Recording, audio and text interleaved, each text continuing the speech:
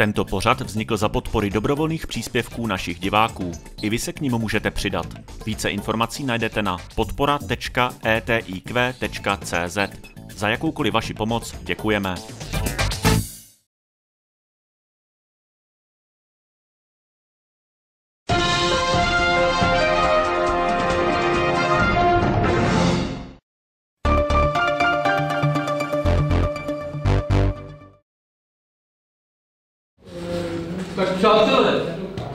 Přednášející bude Radek Novotný, kterého tímto vítám. Dobrý den. Radek Novotný je to, co je paní Vytázková v energetice, Denisa Rohanová v exekucích, tak Radek Novotný je ve vodě, to je třeba říct. Takže, abyste věděli, co vás čeká za legraci, Radek Novotný má slovo. Takže dobrý den, prosím vás, v podstatě to, co uslyšíte ode mě, jste už vlastně všechno slyšeli, protože ten, to, co se děje ve vodárenství, se úplně stejně tak děje v energetice. Rozdíl mezi paní Vytázkovou a tím, co řeším já, v podstatě není žádný a dokonce ani mezi zkušenostmi, které máme v rámci toho, co děláme. Ať už je to z pohledu přístupu politiků nebo z pohledu fungování mafie, která se tady kolem toho uh, monopolu, přirozeného monopolu, který je absolutně strategický pro celý stát, prostě uh, pohybuje. Uh, řeknu jenom drobnou věc. Fyzicky, nedávno jsme se o tom bavili, co to je, to jsem vám chtěl pustit, takže nakonec se neleknete hned. Obecně, i z toho, co jste tady slyšeli předtím, prostě samo se nic nenapraví. Všechno, co člověk zaved, může člověk změnit a napravit. A podle mého mínění, v okamžiku, kdy vy jste krásně řekl tu vyčuranost, kdy přestaneme být čvejkové a přestaneme si tímhletím způsobem dělat v uvozovkách legraci z něčeho, co je absolutně podstatné, tak pak teprve to tady může začít fungovat. Nebude to fungovat v okamžiku, kdy budeme strkat hlavu do písku, kdy budeme říkat, nic nejde, to je jedna věc, to je jeden přístup, kdy budeme zase z druhé strany říkat revoluce, revoluce, taky ne. Tady ten přístup z hlediska toho, ano, zákon, upravit zákon a v tom mezi toho zákona trvat na jeho, na jeho dodržování, tak to je jediná cesta, protože nějaké jako revoluce v tomto systému proti těm mafiánům nepůjdou. Oni budou vědět, že revoluci si zaplatí a, a přesně, a pak, pak setnou ti, kteří jsou schopní a prostě půjdou proti tomu. Jo. Takže to jsem se trošku od té vody vzdálil. Krásnou věc, kterou, jsem, na, na kterou, kterou mi napsal jeden člověk, jako, jako říkal, pane Novotný, toto na vás sedí. Jo. Já to zkusím, abyste to viděli celé. A nejsem, nejsem nějaký velký ten, ale když přišli nacisti pro komunisty, mlčel jsem. Nebyl jsem přece komunista. Když přišli pro demokraty, mlčel jsem. Nebyl jsem sociální demokrat. Když pro, pro odboráře, nebyl jsem odborář. Když pro, přišli pro mě, už nebyl, kdo by se mi zastal. Mm. Chlapi, tohle to se nás všech týká. E, tohle se týká vlastně našich děcek, tohle se týká úplně všech. A já, ne, já to úplně vůbec neznám, jako, ale tady ten, ten citát se mi hodně líbí. A uh, on mi říká, když jsem viděl vaše stránky a obsah jejich stránek, tak vy jste přišel a přestal, ne, když oni přišli pro naši vodu, tak jste přestal mlčet. Děkuju. No. Takže to bylo jedno z nejhezčích poděkování, které jsem za to, co dělám, jako kdyby dostal. E, obecně ve vodárenství se věnuju od roku 2001-2002. Předtím jsem měl firmu, která dělala akvizice fúze, vstupy zahraničních investorů, zahraničních investorů. Nemám nic a priori proti zahraničním investorům typu VW do Škodovky. Kdyby Škodovka neměla zahraničního investora, dneska stejně jako automobilka Saab neexistuje. Jo? V tom konkurenci by neměla šanci bez otevření nových trhů, bez vývoje, bez technologií. By to nedalo prostě, tak jak Liaska skončila. Jo? Z druhé strany, díky tomu, co jsem měl zkušenost, tak jsme v roce 2001, moje firma organizovala veřejnou obchodní soutěž. A prosím vás, nebyli jsme v žádné výběrové komisi, kdo dělá nejlepší na to, ale dělali jsme právní zástup due diligence, tak, aby všechno bylo v cajchu, když to výběrové řízení, veřejná obchodní soutěž, to znamená přísnější pravidla. A zjistili jsme, že v podstatě to, co přichází jako a je prezentováno politiky po celé republice, hlavně politiky ODS, jako vstup strategického investora, tak je v podstatě hodně dobře rafinovaná záležitost vyvedení ziskových aktiv z té okresní vodárny, z té městské okresní vodárny, do soukromých rukou za podmínek privatizace zisku a zestátnění nákladů nebo z, jako z veřejný, veřejný sektor tomu zůstanou náklady. Tohle to hezky popsal kdysi pan Čech, Ringo Čech, kterého všichni známe, se Schillingera, spoustu lidí si z něho dělal srandu, selský rozum zaplodoval, on říká, prosím vás, my v Praze si ty trubky necháme. A to, z čeho točil peníze, tak tohleto, tohleto prostě dáme do rukou. Peněžní toky, kontrolu nad peněžními toky, právo inkasovat zisk prostě dáme do soukromých rukou. To je prostě nesmysl. Toto, my jsme se proti tomu postavili a ta ODS nás přehlasuje prostě, jo. A tam, kde jedno zastupitelstvo schválí, tam přesto nejde vlak. Prostě tak se stalo. A je to. E, myslím si, že tenhle režim je hodně dobrá, rafinovaná varianta toho, co tady přišlo v 69. Rozdíl je obrovský rozdíl, je jediný. Jde o moc a o peníze, to je stejné, ale rozdíl je v tom, že si toho nikdo nevšiml. Protože v 69. přijeli tanky a všichni lidi, ať už měli IQ, ty nebo byli prostě tady někde nahoře, věděli, že to není v žádném případě vůle toho národa nebo toho státu, nebo nějaká vůle té vlády, nebo kohokoliv, kdo o tom rozhodoval. Kdežto to, co se stalo po 89. je v podstatě nemlich to samé, zase jdeme pro peníze a kdo ovládá monopoly, ovládá, má moc, ale nikdo si toho nevšiml, protože to přijelo bez stánku. A to je podle mě ten nejzákladnější vztah, který si musíme uvědomit, protože to je o svobodě toho státu. O to, jestli je, jestli je své právny, jestli, prostě je, jestli to je koncernista, anebo jestli to je Česká republika. A já mám obavu, e, ukážu vám mapu, kterou za chvilku uvidíte, že jsme naštěstí, protože já jsem se do toho pustil vlastně hned potom, kdy jsme tu soutěž skončili, skončila tak, že politici rozhodli, že nebude vybrán, že privatizovat se nebude, že ty nabídky neodpovídají jejich, jejich požadavkům. A já jsem si říkal, dobře, tak si uděláme analýzu celé republiky, jak to vlastně vypadá. No a zjistili jsme, kolik peněz se do toho vodárenství nasunulo z veřejných rozpočtů, z, voda, z vodného stočného, jaké ceny jsou v Evropské unii, kam se ty naše ceny budou hýbat, že všichni jsme věděli, že budeme mít stejně drahé šaty, benzín, plyn, elektřinu, vodu, bydlení a možná něco ještě dražšího. Jo? Takže, takže jsme zjistili, že prostě jsme zafinancovali kus odvětví už dávno, už předtím, a do toho odvětví přichází někdo, kdo říká, trubky si nechte, my to budeme jenom provozovat, my chceme jenom peněžní toky a zisky z toho. Jo? chytré. Vzali si naše lidi, nepřišlo tady 30 tisíc Japonců, Španělů, Rakušanů, Francouzů, Němců. Ne, vzali naše vodaře, kteří tady jsou vystudovaní, kteří měli velmi a mají pořád velmi dobrou pověst z hlediska kvality. A tyhle ty lidi si před, tyhle ty dokonce vyvedli politici zadarmo na tyto soukromé firmy. Jo? To je případ, že tady někdo ze Šumperka mi to někdo říkal před chvilkou, že, že tam jim říkají, my nemáme lidi. Já říkám, no bude, už jsme jim je dali. Uh, druhá věc, uh, vzali si portfolio smluvních vztahů, které ty vodárny x let prostě budovali, měli prostě svoje klienty, to jim bylo vyvedeno zadarmo.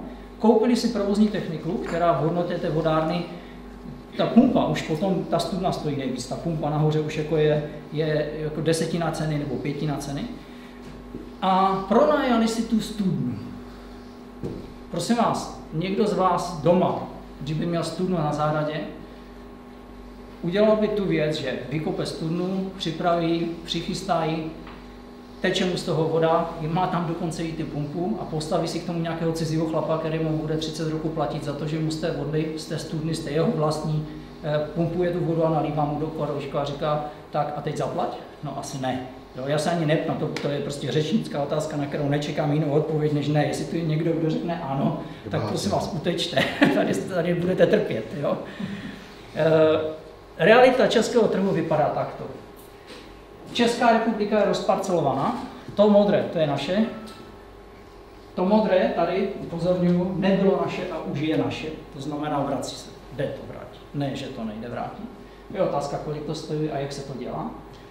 A pak jsou tam různé šedé, černé a podobně. Nejhorší stav je Severní Morava, která je v rukou španělského koncernu, ale předtím ji koupili Angličani společně s Francouzi, pak ji koupili Slováci pak ji přeprodali Španělům, Španělé prodali polovičku společnosti Japoncům a Japonci už teďka toho měli dost, už si, na, už si vzali dost peněz na to, aby byli spokojeni, tak, tak řekli, my vám to prodáme zpátky. Takže tady jsme prosím vás prodali vodu, vodu, prodej vody i trubky. Tu jsme prodali i tu studnu, i tu pumpu. Jo? Takže tu jsme na tom úplně nejhůř. Tady budeme muset odkupovat všechno zpět. A bude to drahé. V ostatních regionech, kromě ještě Berouna, je, nebo ano, myslím, že Berou, tak e, jsou v situaci, kdy mají uzavřené nějaké smlouvy, kdy pronajali ty, ty studny. A ty smlouvy končí a když končí, tak může nastat ADE. No, nechceme vás tady, přebíráme zpátky do vlastních rukou. Takže jedno z řešení je odkup, druhé z řešení je ADE, prostě nebudeme prodlužovat smlouvy, lidi, které, které máte, fabrika, která je zaměřená na provozování vodovodu a kanalizací a nemá smlouvu s městem, tak je, má zápornou hodnotu, protože ona živí lidi, ale nemá, nemá nikdo ji neplatí a ti lidi ty, tu výplatu potřebují, musí odvádět sociální, zdravotní a tak dále, takže hodnota akcí takových vodáren je nulová, ne záporná. Jo? Maximálně se můžeme bavit o hodnotě, zůstatkové hodnotě aktiv, když se budeme bavit nějakém ekonomickém horizontu. V žádném případě se nebavíme o dvou miliardách, jo? Třeba víc severní Čech, za dva roky. A podstatná věc je, že to samozřejmě jde ukončit. Že dokonce i ty koncerny jsou ochotné se domluvit, protože od, když odešli z Paříže, můžou odejít i z Prahy, jo? nebo můžou odejít i ze severních Čech nebo z dalších vodáren, které jsou, já nevím, kdekoliv, kde to tady vidíte. Brno a tak dále. E, tady je nejzásadnější jedna věc, politická vůle. A politická vůle tady není. Tuto dobu mění se to, ale není. E, ptal se mě pan Veselovský, kdo za to je odpovědný. A já jsem mu hned natvrdo řekl ODS a ČSSD. A on mi říkal, no počkejte, ale já se neptám o vládě, já se ptám o těch komunální úrovni, to vlastně měst politici. A já říkám, ano, ODS a ČSSD.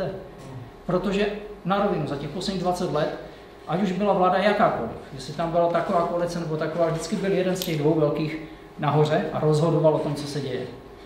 A v okamžiku, kdy by tyto strany nedali tomu zelenou, tak ti komunální politici na té místní úrovni to nemůžou zprivatizovat, protože existovala do roku 2005 zlatá akcie.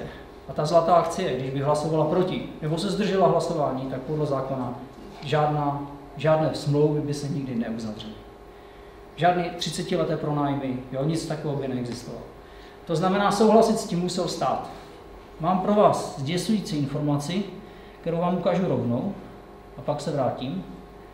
My jsme se státu zeptali, ano, jsem to vymazal, tak se vám to ukážu. My jsme se státu zeptali, prosím vás, když jste pro to hlasovali, tak jste museli, a jste zodpovědní, ministerstvo zemědělství je zodpovědno za stav vodárenské infrastruktury, za dodržování práva občanů a tak dále, tak jste museli vědět, jako, co se stane, že, že prostě soukromník ovládne peněžní toky a dokonce i zadarmo získá právo inkasovat ziskovou marži, kterou už potom samozřejmě těžko můžete toho tygra, když ho držíte za oca, se ho těžko udržíte, když on cítí kořist. Že? A koncern přišel logicky vydělat, nic jiného. Takže co jste, jaký analýzu jste si nechali udělat, že jste pro to hlasovali? Řádná péče, bavíme se o, o miliardách, bavíme se o občan, občanské společnosti, bavíme se o veřejné mínění, bavíme se samozřejmě o, o, i o bezpečnosti a tak dále. A odpověď byla zdrcující. My jsme nikdy žádný rozbor, analýzu nedělali a my jsme si nikdy žádnou analýzu, rozbor udělat nenechali. Já říkám, v tom případě by měl někdo přijít a ty lidi, kteří pro to hlasovali, anebo ty, kteří pověřili tyto lidi pro to hlasovat, by měli být odpovědní a nést i tu ekonomickou odpovědnost za to, co se stalo. A vracíme se k tomu zásadnímu. Prosím vás, koncern může přicházet může nabízet, může slibovat, může chtít, co chce, ale dokud ho ti politici tomu monopolu, a to se bavím o jakémkoliv monopolu, nepustí, tak nevyinkasuje ani korun. To znamená, logika fungování peněz a priorit, o kterých se teďka jenom zmíním krátce.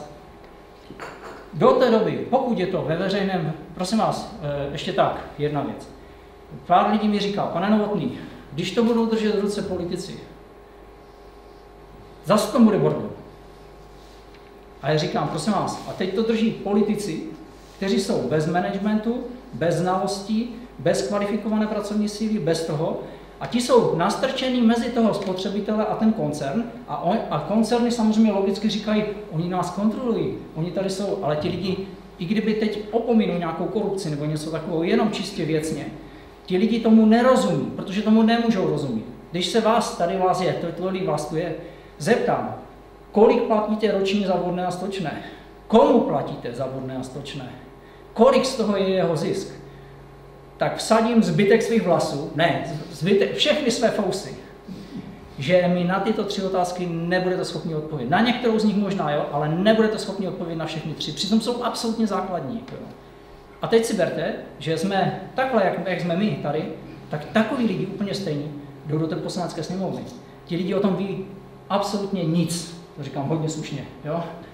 A v dané chvíli pak nějak to funguje, tak oni akceptují a jsou odborníci na něco jiného, to znamená neví. A samozřejmě na tom je to celé postavené. Lidi tomu nevěnují pozornost, lidi to berou jako samozřejmost a lidi tomu nerozumí.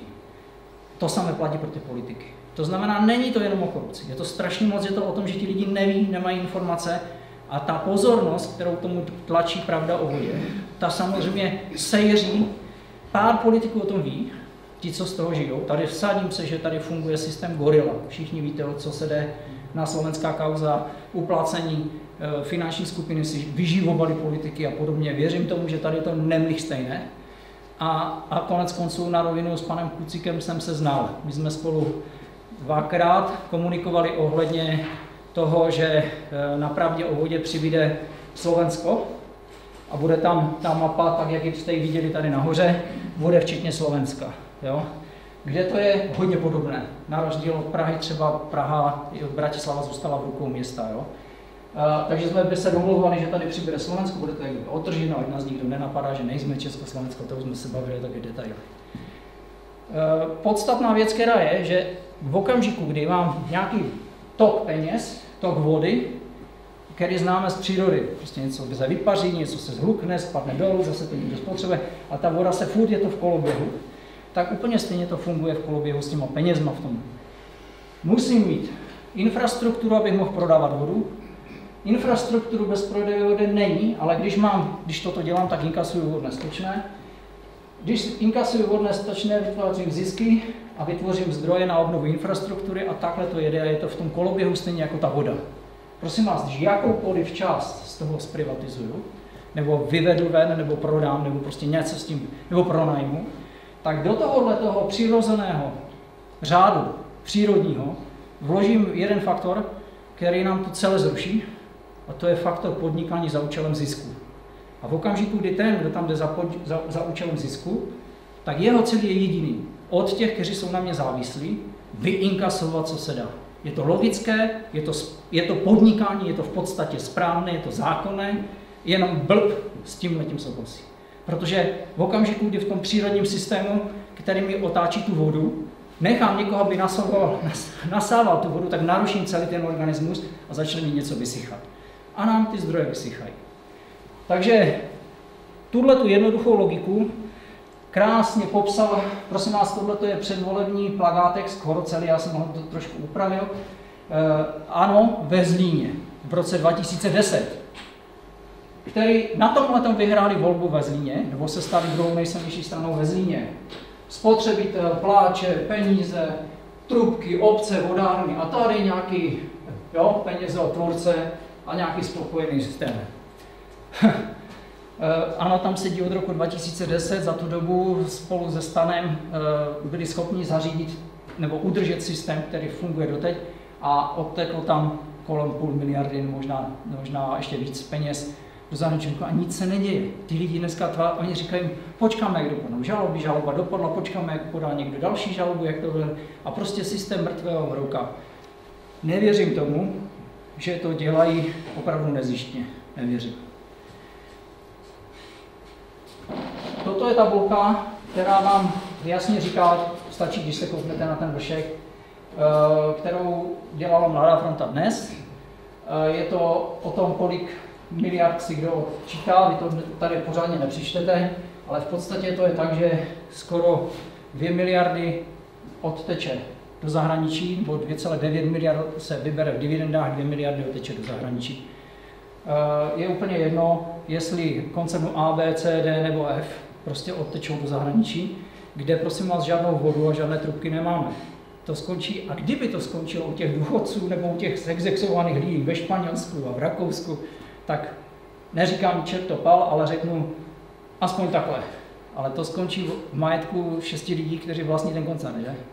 A ti si za to koupí co? No, lepší jachtu, na kterou pozvou koho? No ty naše politiky. To jsme konec konců, myslím, i nedávno viděli ještě, jak tady pobíhá někdo polonahý, někde, někde v cizině. Eh, co se týká mého zážitku a mého příběhu s vodou.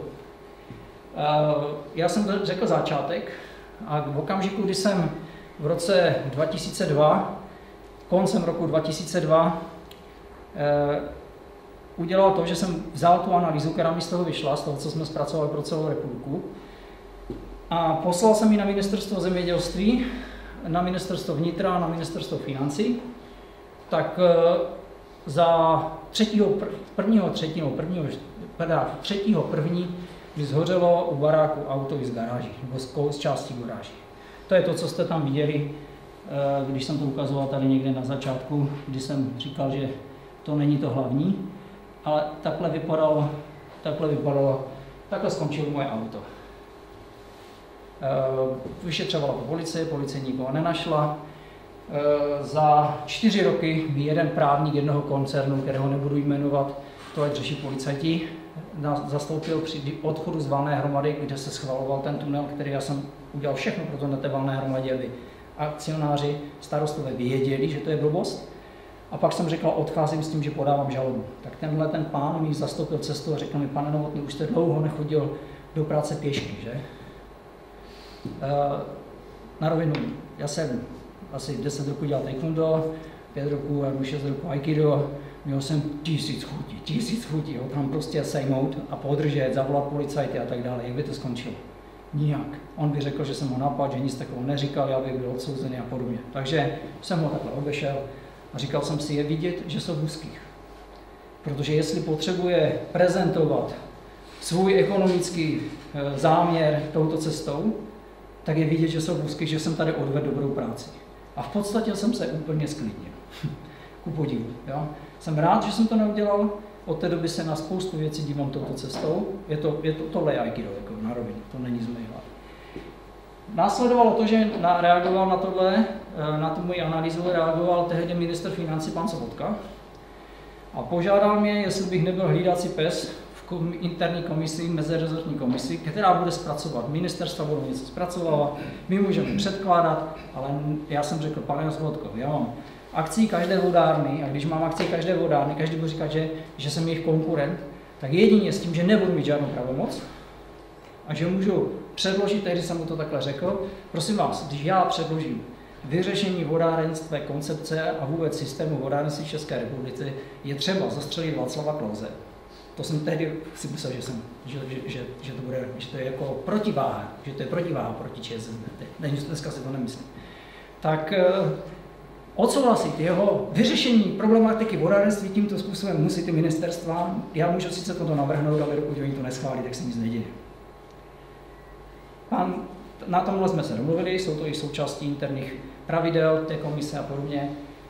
V okamžiku, kdy ta komise se rozběhla, zjistil jsem na ministerstva, ne zrovna aktivně pracují, to tady krásně popsala paní Vytázková, jak, jak narážela na, na, prostě na, na to, že jsou zadrapnutí ti lidi, že mají své kontakty, nominanty, to, tohle je fakt jako hodně přesné, to si myslím, že funguje absolutně dokonale. Myslím si, že z těch ministerstv úplně nejhorší na tom je ministerstvo zemědělství, které už od počátku je tam cítit ta pachuť toho, protože lidi z ministerstva jezdili hlasovat, a hlasovali často v rozporu a nic se neděje, sedí tam dneska, dodnes třeba někteří z nich. Jo. E, na tom ministerstvu my jsme předložili jeden model, který se líbil vodařům, tam byli i vodaři, jako čeští vodaři, a tam to bylo princip, já říkám 50 na 50. Chceš 50% investic, můžeš mít 50% fabriky, já budu mít 51, ty budeš mít 49, 50 na 50. 50% zainvestuješ, 50% zainvestuju já A když budou dotace, super, budou dotace. Ale tohle se do toho nepočítá, protože toto je něco, co dostává veřejná sféra, není to žádná podpora. Pak rozhodování, já, mám, já jsem tady ten veřejná sféra, já tady mám do, doinvestováno, já už jsem tady investoval takový balík, takže a je to moje pozice, do které ty se chceš dostat, tak tam já budu mít prostě to rozhodování, tam já budu mít to právo první noci nebo bouchnutí do stolu. Ale ty se dostaneš monopolu a příjmům, které potom budou, protože ta vodné stočné půjde nahoru stejně jako půjde nahoru v Evropské unii, tak se bude prostě dorovnávat. A ten polštář si potom díky tvému know-how, které ty máš, říkáš teda, že ho máš, tak se prostě vyrovná a bude prospěch z tvého know-how, z našeho budgetu, který do toho dáváme, plus třeba z dotací a může to fungovat. A je to o spolupráci, není to o tom, že to je o diktát. Na to napsalo ministerstvo zemědělství, že to je model, který je nezajímavý pro zahraniční investory, protože jim to nezajistí návratnost investic, a na to byla moje reakce, prosím vás, ministerstvo zemědělství, vy jste ministerstvo koncernu nebo ministerstvo zemědělství České republiky. Vy se ptáte po návratnosti investic zahraničních investorů. Vy se máte ptát po návratnosti investic měst, států a těch městských vodáren. Na to následovalo tohle. Přepadli mi u baráku dva borci, dostal jsem nakladačku, napadli i částečně moji ženu, která mě tam přiběhla bránit. Skončil jsem v otřesem mozku v nemocnici a podobně, eh, s tím, že bylo jasné, že jo, pozor, u toho nebylo jediné slovo, u toho nepadlo jediné slovo. Ani, ani. Pak se pak postupně policajti došetřili, že to byli nějací dosáci, že, že, že tam už se předtím jako si filtrovali. Poslali dva borce a poslali ještě tak nějak jako ze zálohy, protože věděli, že jeden by měl problém. Takže dobře. Jsem, a v tu chvíli se to ve mně změnilo absolutně v situaci, o které tady mluvila před chvilkou paní Vításková. Od té doby už to pro mě přestalo být nějaké poradenství a ekonomika nebo něco takového. Beru to čistě osobně. Mám tady tři děcka. V tu dobu já mám rodinu v Kanadě, v Austrálii, měl jsem rodinu i v Německu. Jsem, v tu dobu jsem hodně rozhodoval se, jestli, jestli prostě v tom bordelu chci zůstat. A nebo odejdu a budu žít prostě někde normálním životem, to neznamená, že všude je něco, všude je něco. Ale tady se prostě, jak paní Vytázková zmínila mafii, tak tady si věřím, že to je jednoznačně, nebo jako mafie tady funguje jednoznačně. Reakce moje na to byla taková, že, že jsem zavolal samozřejmě člen komise Cidej Bacha, protože jsem nevěděl. To v tu chvíli na vás spadne spoustu. Říkáte si, co máte dělat, jak máte reagovat. A říkal jsem si, ne, tomu, tomu fakt co vám nechci. Za 14 dnů na to mě zastavil pán na parkovišti, v podstatě obdobným způsobem jako ten, ten právník a říká mi, pane Novotný, máte to zapotřebí, vy jste inteligentní člověk. Uvědomte si, že takový atak může přijít třeba na vaši ženu a vaše žena vozí dítě tam, druhé dítě do školy, jedno do školky. Přesně věděl, normálně mi popisoval cestu. Po druhé jsem byl v situaci, kdy jsem hodně uvažoval o tom, že ho fakt sejmu na té zemi a tohle to jsem říkal, škoda, že to nemám nahrávání. Prostě a nenapadlo mi, že mám chodit po, po ulici z nahrávání. Takže jsem pochopil, že a bylo mi řečeno, že by bylo dobré, abych se z té komise stáhnul. Takže moje reakce byla, že po tomhle jsem zavolal, dal jsem aplikaci, odešel jsem z komise, s tím, že jsem stejně věděl, že já už jsem tam všechno to, co bylo třeba, že jsme měli schůzky s těmi jednotlivými ministerství, že jsem jim řekl, co se děje, že jsem jim doložil, co se děje, že to mám splněno, že odcházím s čistým štítem. A jediné, co jsem jako říkal, že by bylo dobré, aby si fakt udělali, aby, aby to skončilo jakýmkoliv závěrem. A, a řekl jsem, je to na vás, stejně jak byste o tom rozhodovali. Bylo mi řečeno, my budeme informace samozřejmě od vás přebírat dál a podobně. E, jo, ne, nebudete tam jenom vidět, jo, takové věci. V tom, jak jsem to, tak to skončilo úplně. Už nikdo neměl zájem. Nikdo neměl zájem. E, bral jsem, že dobře, v komisi nejsem, ale mezi tím už jsem v některých těch vodárnách podal žaloby, v roce 2002 v tom Zlíně, jo, a chodil jsem na valné hromady těch vodáren, kde jsem viděl, to už, to už poznáte, jak těm politikům některým svítí očička. On, on mluví nesmysly, ale on, on mluví tak, že na něm rovnou víte, že on je nabífovaný, skoro mu tu chybí ten mikrofon, kdy mu někdo něco jako vykládá. A, a on, on řekne větu a vy, mu, vy se požádáte, prosím vás, mohl byste mi vysvětlit, v čem je to výhodné, když my můžeme požádat do dotace, my si ovšem rozhodujeme, my máme tohleto, my máme tohleto, a on na vás kouká a říká, vy jste, vy jste komunista, co mi to tady melete? Vy, vy, vy máte nepříjemné zkušenosti s nějakými koncerny, nemáte žádné takové, co to tu melete? Jo? Takže oni fakt jako útočili touto cestou, nebo zase říkali, no jo, Jo, pan Novotný, jo, to je prostě prudíč, on chce prodat akcie. Já jsem říkal, prosím vás, ukažte mi nějakého vodaře, kterému jsem šel a říkal mi, já ti prodám akcie. A, že, a když, já, já jsem, ano, já jsem říkal, akcie, ty vodárny, nemají hodnotu 120 korun, mají hodnotu 1200 korun, 2000 korun, 3000 korun, protože toto je to nejzásadnější, co tu máme. Můžeme se tu bavit o exekucích, můžeme se tu bavit o energetice, můžeme se tu bavit o litiu. A když vám ukradu litium, budete, chlapi, potřebujete litium k dnešnímu pohybu někde? Bylo by dobré, a já chápu, já to neříkám, že to nemá žádnou hodnotu. Ale když mi jo, já zatím na něho nejezdím, takže můžu jezdit dál. Když mi ukradou elektřinu, tak si zatopím dřevem nebo něčím, nebo, a nebudu čumět na blbou televizi a na, na seriály, které nám vymývají a hlavně lidem vymývají mozky. Jak policie všechno vyřeší, jak jsou, jak jsou jediný problém zdravotnictví, jsou sexuální vztahy doktorů se sestřičkama a podobně. Jo? Takže říkám, když nám toto ukradou, fajn. Když nám ukradou vodu, tak za tři dny mě nezajímá litium, politika ani energetika, jsem mrtvý. To je úplně nejzásadnější zdroj ta voda. A ta, ta voda rozhoduje úplně o všem. Ona je v průmyslu, lidi říkají, já mám studnu, je to vyřešené. Říkám, máte, máte rodinu v domově důchodců třeba, když vidím, že to je 50 60 letý člověk, babičku, no. Říkám, tak se zeptejte toho domova důchodců, kolik platí za vodu, kterou tam spotřebuje na, na hygienu, na, na čištění, na prání, na, samozřejmě na, na vaření. A on na vás kouká ten člověk a řekne, aha, aha, to mě nenapadlo, ta voda je všude. Já říkám, i v tom tričku, i v tom autě, v kterém jedete, všude, v tom průmyslu, v chemickém průmyslu, všude ta voda je, všude. To je prostě, dneska jsem měl ve vlaku a paní se se mnou bavila a zjistil jsem, že proti mě sedí chlap, jejíž syn, který je z hospodářské kriminálky, jo? Podepsali petici mimo jiné.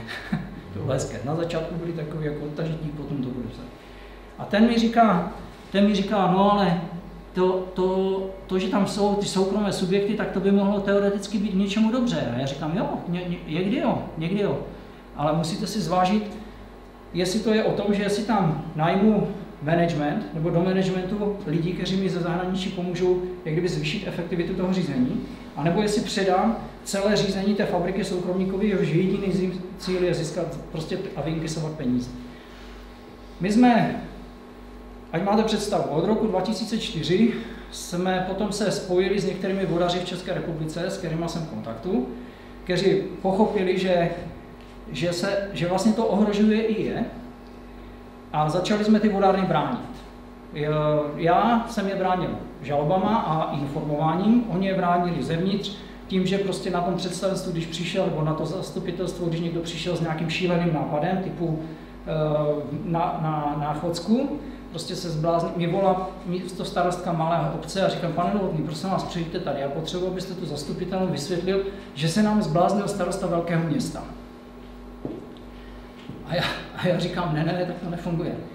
Eh, když tam přijedu já jako porádenská firma, nebo já jako fyzická osoba, to je úplně jedno, tak oni postaví druhou poradenskou firmu a budou to názor dvou poradenských firm. A vy, jak jste tady třeba beru, že jste jedna parta z jedné lidiny, nebudete vědět, komu máte věřit, protože o tom houby víte. Ale když tam vstoupíte vy a vstanete vy tam mezi nimi, vy tam hrajete, vy s nimi jste hrál ten fotbal od děcka a řeknete, toto je taková hovadina a tu mám proto důkaz, důkaz, důkaz, důkaz. A v tu chvíli se odhalí ten kašpar, který přišel a v podstatě dělá trojského koně, tak v tu chvíli ti chlapí, všichni tak, jak tam sedí, nebo ti starostové, všichni, jak tam sedí, pochopí a prozřou. Takže jestli chcete, ona přijďte za mnou, říkám, ne, ne, ne, ne, to funguje jinak, pokud se mnou něco chcete, musíte přijít za mnou. Oni mě takhle chtěli utahat, aby furt někde jezdil a povídal si, tak dále jsem říkal, nejezdím tady, až vy jste jeden z mála, který to dokázal. A v dobrém, v dobrém, protože jsme se už znali. A teď na rovinu, až mi to bylo trochu trapné, protože když ta paní přijela, já jsem ji poslal dokonce domácím ať, ať to je o něčem, ta diskuze, ať už se bavíme v podstatě, no, věděl jsem ten, ten region, Ona přijela navýfovaná, věděla toho víc než je, takže mi bylo jasné, že tomu rozumí, že tomu chce rozumět víc ještě tak dále. A proběhlo to ve stylu, kdy, kdy prostě vystoupila pro mě Hanna Hegerová. V tu chvíli jsem se za sebe i trochu styděl za tu striktnost, protože jsem si říkal, tyhle, tyhle paní, jsem takhle striktní být nemohl, já jsem nemohl vědět, kdo na tom telefonu je, jo. takže zase jsme z toho nebyli, my z toho hodiny jsme spolu seděli skoro 6 hodin, nechtěl jsem za to ani korunu, říkám, to jsem říkal, to je skláním to, že vůbec někdo se v jejím věku sebere a jede tolik a, a je nabiflovaný a dělá. A začala ona informovat ostatní, začala spojovat ty lidi mezi sebou. Přijelo, přijeli na jednání, začali vykládat, jak všechno umí, předložila pár argumentů. Starostové se domluvili, podepsali nikdy prodávat, nikdy pronajímat. A tím se to zastavilo, to rok 2006. Další okresní údárna už nikdy nespadla do rukou soukromých firm. Protože jsme ukázali, že to jde. A to je to, co zase tady říkala paní exekutorka, nebo šéfka, že, že je počítat s tím, že to nepůjde hned, ale že udělejme jeden a uděláme precedens a ten precedens slouží těm ostatním. Stejný precedens dělám soudní cestou. To je to informování. To je nejdůležitější. Všichni lidi to podceňují. Web Pravda o vodě mám na to velmi pozitivní ohlasy, což jsem ani nečekal. Z vysokých škol, kdy mi říkají, pane Novotný, díky vám se zvětšila, výrazně zvětšila kvalita eh, diplomových prací, dezertačních prací, takových těch, těch eh, seminárních prací, protože ti lidi na jednom fleku mají informace o koncernech, o městské vodárně, jak, když jsou jak kdyby propojeny nějakou smlouvou, a o těch normálně smíšekách, které si tu pumpu s tou studnou spravují sami. A to srovnání je nemilosrdné, prostě ty čísla neojevete. Fakt, to se nedá. Jo, protože v okamžiku, kdy vidíte, že ta vodárna si od roku 2002 od lidí vyinkasovala městská, vyinkasovala v součtu třeba 200-300 milionů, tak u těch soukromých zjistíte, že si vynkasovali 700-800 milionů a vedle toho ty, ty, ty parazitní mezi, co zůstaly, co jsou jako trafiky pro ty politiky, kteří to zprivatizovali, tak, tak vyinkasovali třeba dalších 300, jo? takže se ztratí prostě miliarda 200, jo, když to sečtete, a proti tomu stojí ta městská voda na 300 milionovým ziskem za, za stejné období. Tak, tak, jako, tak mi to vysvětlete. Jako když tomu nerozumím, jako že mi někteří říkají, že tomu nerozumím, já říkám, to nepotřebuji rozumět. Já, potřebuji, já, já potřebuji ty čísla mi vysvětlit. Já, jinak, když tohle bude naopak, tak super. A z druhé strany, když je to tak geniální, ten provozní model, proč si ty koncerny nekupují ty trubky? Když, když my nemůžeme čerpat ty dotace na ty trubky, protože máme koncerny, tak proč si ty koncerny nekoupí ty trubky a nenechají nám to provozování? Když je to tak fantastické pro nás, jak oni furt vykladají, jak je to fantastické. No je to samozřejmě oblbovárna, ale pozor, toto neříkají koncerny. Ty koncerny stojí za bukem, ti jejich lidi stojí za bukem, toto říkají vytipovaní primátoři nebo, nebo lidi, zaměstnanci té vodárny a není jich moc. Se mě někdo ptal, kolik lidí musí být tímhletím načichnuto, aby, aby došlo v okresech prostě k něčemu takovému. A já říkám, tři, pět? To není možné, jo, to není možné. Já říkám, no tři, pět, protože to jsou ty hlavy, jo. To jsou ti, kteří rozhodují, kteří ti ostatní respektují, kteří byli šéfové u tom volejbale a to byl kapitán týmu. A vy ho znáte, vy mu věříte, když jste s ním chodil do školy a dokonce jste bojovali o stejnou holku. Takže, a on, a on ji prohrál, takže mu dvakrát věříte, protože si říkáte, že jste lepší. A on, vám, a on ještě dělá v té vodárně, šéfa toho, toho, toho vodárny jako představenstvo. Tak kdo má lepší informace než on? A pak může přijet jakýkoliv poradce a říkat cokoliv, když řekne, ty já Lojzu znám už 30 let, jako ty, ty jde do háje, kdyby měl stokrát lepší argumenty. Jo. A to je postavené na tom, že tito lidé potom přejdou do služeb těch koncernů. Najdete je v jejich orgánech, najdete je, už dneska šefují vodárenským združením, jo, které samozřejmě ty koncerny ovládají a podobně. Takže dají se velmi rychle dopátrat, protože když se podíváte, kdy byla uzavřena smlouva a výroční zpráva té vodárny, tak zjistíte, kdo seděl v představenstvu a najdete, kde dneska sedí, jo, takže to je celkem jasné. Eh, teďka jsem řekl to negativní, a kdybych teď skončil, tak udělám obrovskou chybu. Protože v dané chvíli si řeknete, je to v prdeli, pane hrábě, to známe všichni z toho, z toho tam hrál Kopecký, myslím, že to je krásná, krásná věc. Není. Prosím vás, že toto je uh, antisystém, že toto je prostě, já tomu říkám postkolonialismus, paní Švihlíková tomu říká systém zajetí státu dobývání renty. Škoda, že tady není. My na sebe jsem tam narážíme v nějakých komentářích a podobně. Já jsem říkal, že ona ode mě opisuje a ona si asi myslí, že já opisuji od ní zase, jo, protože my máme hodně podobné názory.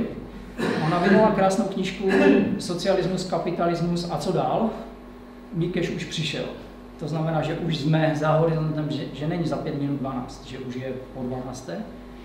A v tomto ohledu, co dál, nám může ukázat příklad Francie. E, příklad Německa. Tam nastal obrovský obrovské pochopení něčeho takového. Zprivatizovat veřejnou službu je znamená udělat z toho dojnou krávu. E, protože v okamžiku, kdy do tohohle toho cyklu, o kterých jsem mluvil, prostě pustím soukromý zájem, tak v tu chvíli vzniká subjekt, který prostě přichází vydělávat peníze. Je to logické, prostě na tom není nic, já to nepopírám. A když my mu to ze zákonnou cestou umožníme, tak proč by toho nevyužil? Na to se mi ptal pan Veselovský, no ale to je roz, rozumné, že oni chce. A já říkám, já vám to říkám, ale proč my tohle to dopustíme? Pak se divíme, že nám v tom odvětví chybí peníze. Problém je v tom, co, co jsem se zeptal paní Vytázkové, ODS ČSSD je jasná. Taky s tím všichni si vrhnovali rukávy. Nečas, jsem ho viděl na billboardech, krásný. Eh, uděláme z, této stát, z tohoto státu eh, fungující stát, Sobotka. No a problém je, že ti samozřejmě s tím nic dělat nebudou. Když se podíváte na programové prohlášení vlády, této nové vlády, tak je tam bod, který tam protlačili komunisti, který říká, vrátíme infrastrukturu nebo trubky a tohleto do rukou státu nebo měst a obcí. Prosím vás, kromě Severní Moravy, trubky máme vlastní rukou. No. Takže je to populistická záležitost postavena na tom nachytat ty voliče, že nerozumí tomu, co se zprivatizovalo, co je v rukou soukromníků, co je v rukou koncernů, co máme. Severní Morava je rozdíl.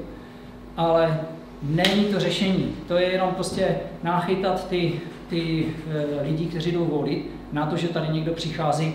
Oni už to konečně řeší, oni o tom budou mluvit. Udělali jsme dešťovku Fajn, jako beru, Ježíš Maria, dešťová voda, se ušetří. Ale v tom objemu peněz, o čem se bavíme, je daleko podstatnější rozples, které smlouvy byly uzavřeny protiprávně a tam to zažalovat. A nebo nařídit, v podstatě stranicky nařídit. Když se na tom uskne se post, všichni v rámci poslanecké sněmovny, ty, ty hlavní politické strany, 101 poslanců, a řekne, vytvoří se vodárenská koncepce České republiky, která bude zajišťovat samofinancovatelnost, bude zajišťovat to, že peníze prioritně vybrané od lidí jdou do obnovy infrastruktury a do, do jeho rozvoje, aby se zmenšil tlak na veřejné rozpočty na, na finance obce a v tu chvíli jsme i dotačně jako přístupní, protože v tu chvíli to v tom systému, který Evropská unie respektuje a to, to je ochotná dotovat, tak do toho odvětví prostě přivedu dost peněz na to, aby to mohlo financovat. A nedělám z toho systém, který funguje na systému dobývání? A to, to, to je problém, když se potom podíváte, já to ukážu na tom Severní Moravě, jo? já jsem to chtěl ukazovat na Hradci, ale v Severní Moravě je krásný ukazkový příklad. Já jsem totiž ze Severní Moravy, tak to mi chlapi odpuste, že to nebude Praha nebo tohle. Eh, Severní Morava je úplně šílená věc. Od roku 2000, kdy se to zprivatizovalo, do roku 2016 v ziscích odteklo 5,7 miliard korun. Jo, jasně, nejsou to čísla energetického úřadu, když se bavíme o bilionech, ale, ale to je jeden region a tohle je, to je čistírna jako pro obrovské město nebo jako pro Prahu v podstatě. A pozor, španělský koncern přišel s tím, že teďka vyplatí si všechny nerozdělené zisky, kapitálové, rezervní fondy, všechny finance, které ve té fabrice jsou, sníží základní kapitál a z fabriky, která má dneska 3 miliardy, udělá fabriku, která má jednu s 5 miliardovým dluhem.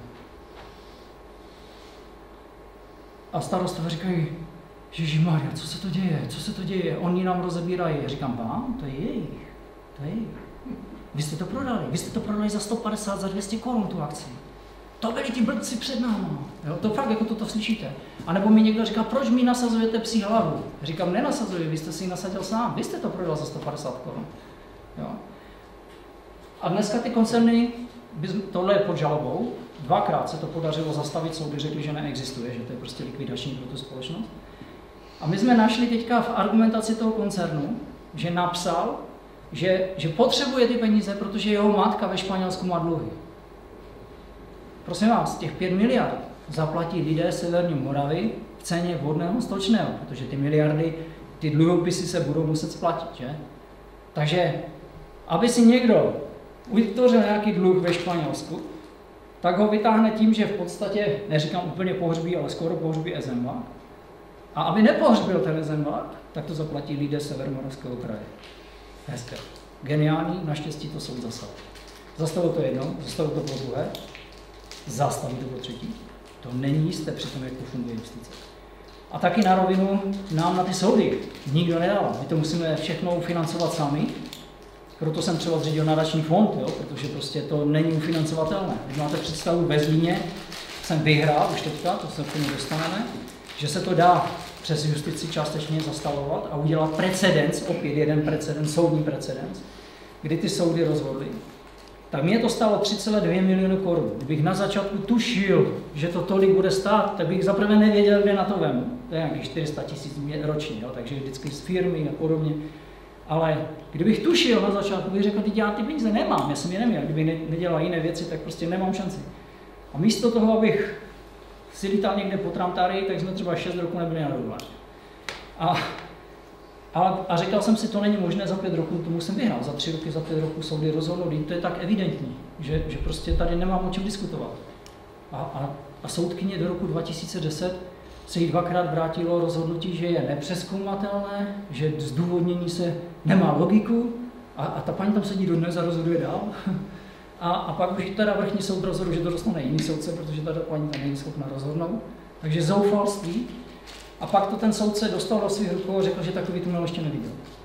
Za svou dobu, co, co souduje. Takže jsou mezi nimi, tak jak mezi všema lidma jsou soudní lidi, rozumní lidi, schopní lidi, analyticky.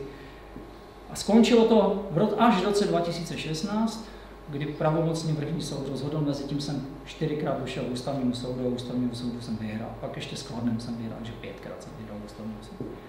Kdy ústavní soud řekl, ano, pokud to chcete opravdu rozhodnout podle justice, tak musíte jít tou cestou, které říkám novotný, a musíte jít krok za krokem. Prostě brát logicky ten stav, který nastal, který oni věděli i dozadu, ne si z toho vypíchnout něco a na základě toho říct, ta paní není oblečena.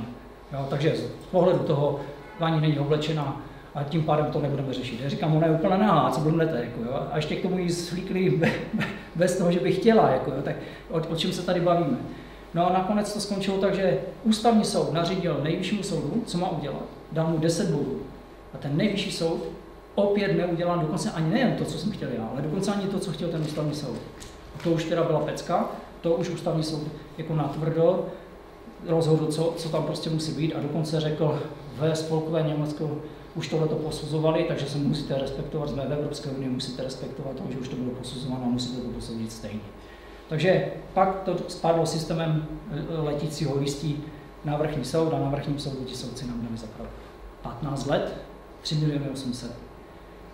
Nedávno si pan Březík pochválil, to je šéf Vaku Přerov, eh, Vaku, Vaku Zlín, že soudní obrana, soudní obrana, on říkal soudní obrana, něco takového, soudní spory, že ten VAK stali 50 milionů korun. Říkám, tak by vás měli všechny ti lidi, kteří tam sedí, by měli být prostě zahnáni za tuto škodu, protože bylo jasné, a to ten soud jasně řekl, vedení vodárny a, a vedení toho města je za to zodpovědné, plus organizovaná skupina, do které se oni přidali. Ale máme precedens, že prostě ten proces, který probíhal nepratný, protiprávní a zomapovaný. Teďka podstatná věc, a tím končím, co s tím? Napadá vás něco? Co s tím? To, co máte na té petici, do ústavy se musí dostat to, že voda je prostě majetek státu, nemůže se vůbec privatizovat. Jedině tak bude možná zaručený to, že se tím nebude do budoucna nebude šeftovat. V podstatě závěr je úplně přesně. Jo? Těch cest potom existuje víc, nebo to je jedna z cest. Prosím vás vrátit zruší mezičlánky, překupníky, koncerny, soukromé firmy. Prosím to není jenom koncern, to už dneska to vymysleli i Češi, jo, jak jste tady říkal o té vyčuranosti. Už dneska Češi zakládají v Seychelách v soukromé firmy a chcou tady provozovat. V roce 2089 nebo 90, tady, 90, 92 tady bylo 12 krajských vodáren, které měly za úkol vybrat vodu, dodat vodu, vyčistit vodu, vybrat vodné stočné a zainvestovat do trubek. Dneska máme řádově 2,5 tisíce vlastníků infrastruktury nebo provozovatelů a 6 tisíc vlastníků infrastruktury. To je nekontrolovatelné a samozřejmě rozděl a panuj funguje dokonale, protože v tu chvíli zahltíte ten, ten kontrolní orgán čísly, které dělají přesné součty z nepřesného systému, který systém je postavený na tom, aby soukromí mohli vydělávat. A tady jsme u toho, o čem mluvila paní Vytázková. Prosím vás, tohle prosadili politici. Takže toto nejde jinak akceptovat, než že jsou to političtí nominanti finančních skupin a, a, a koncernů, protože Eh, žádný soudný politik by toto neprosazoval, protože je jasné, že z toho systému, který je nějakých 35 miliard ročního obratu, si prostě nějaký 3 miliardy nebo 2 miliardy odtečou k ziscích.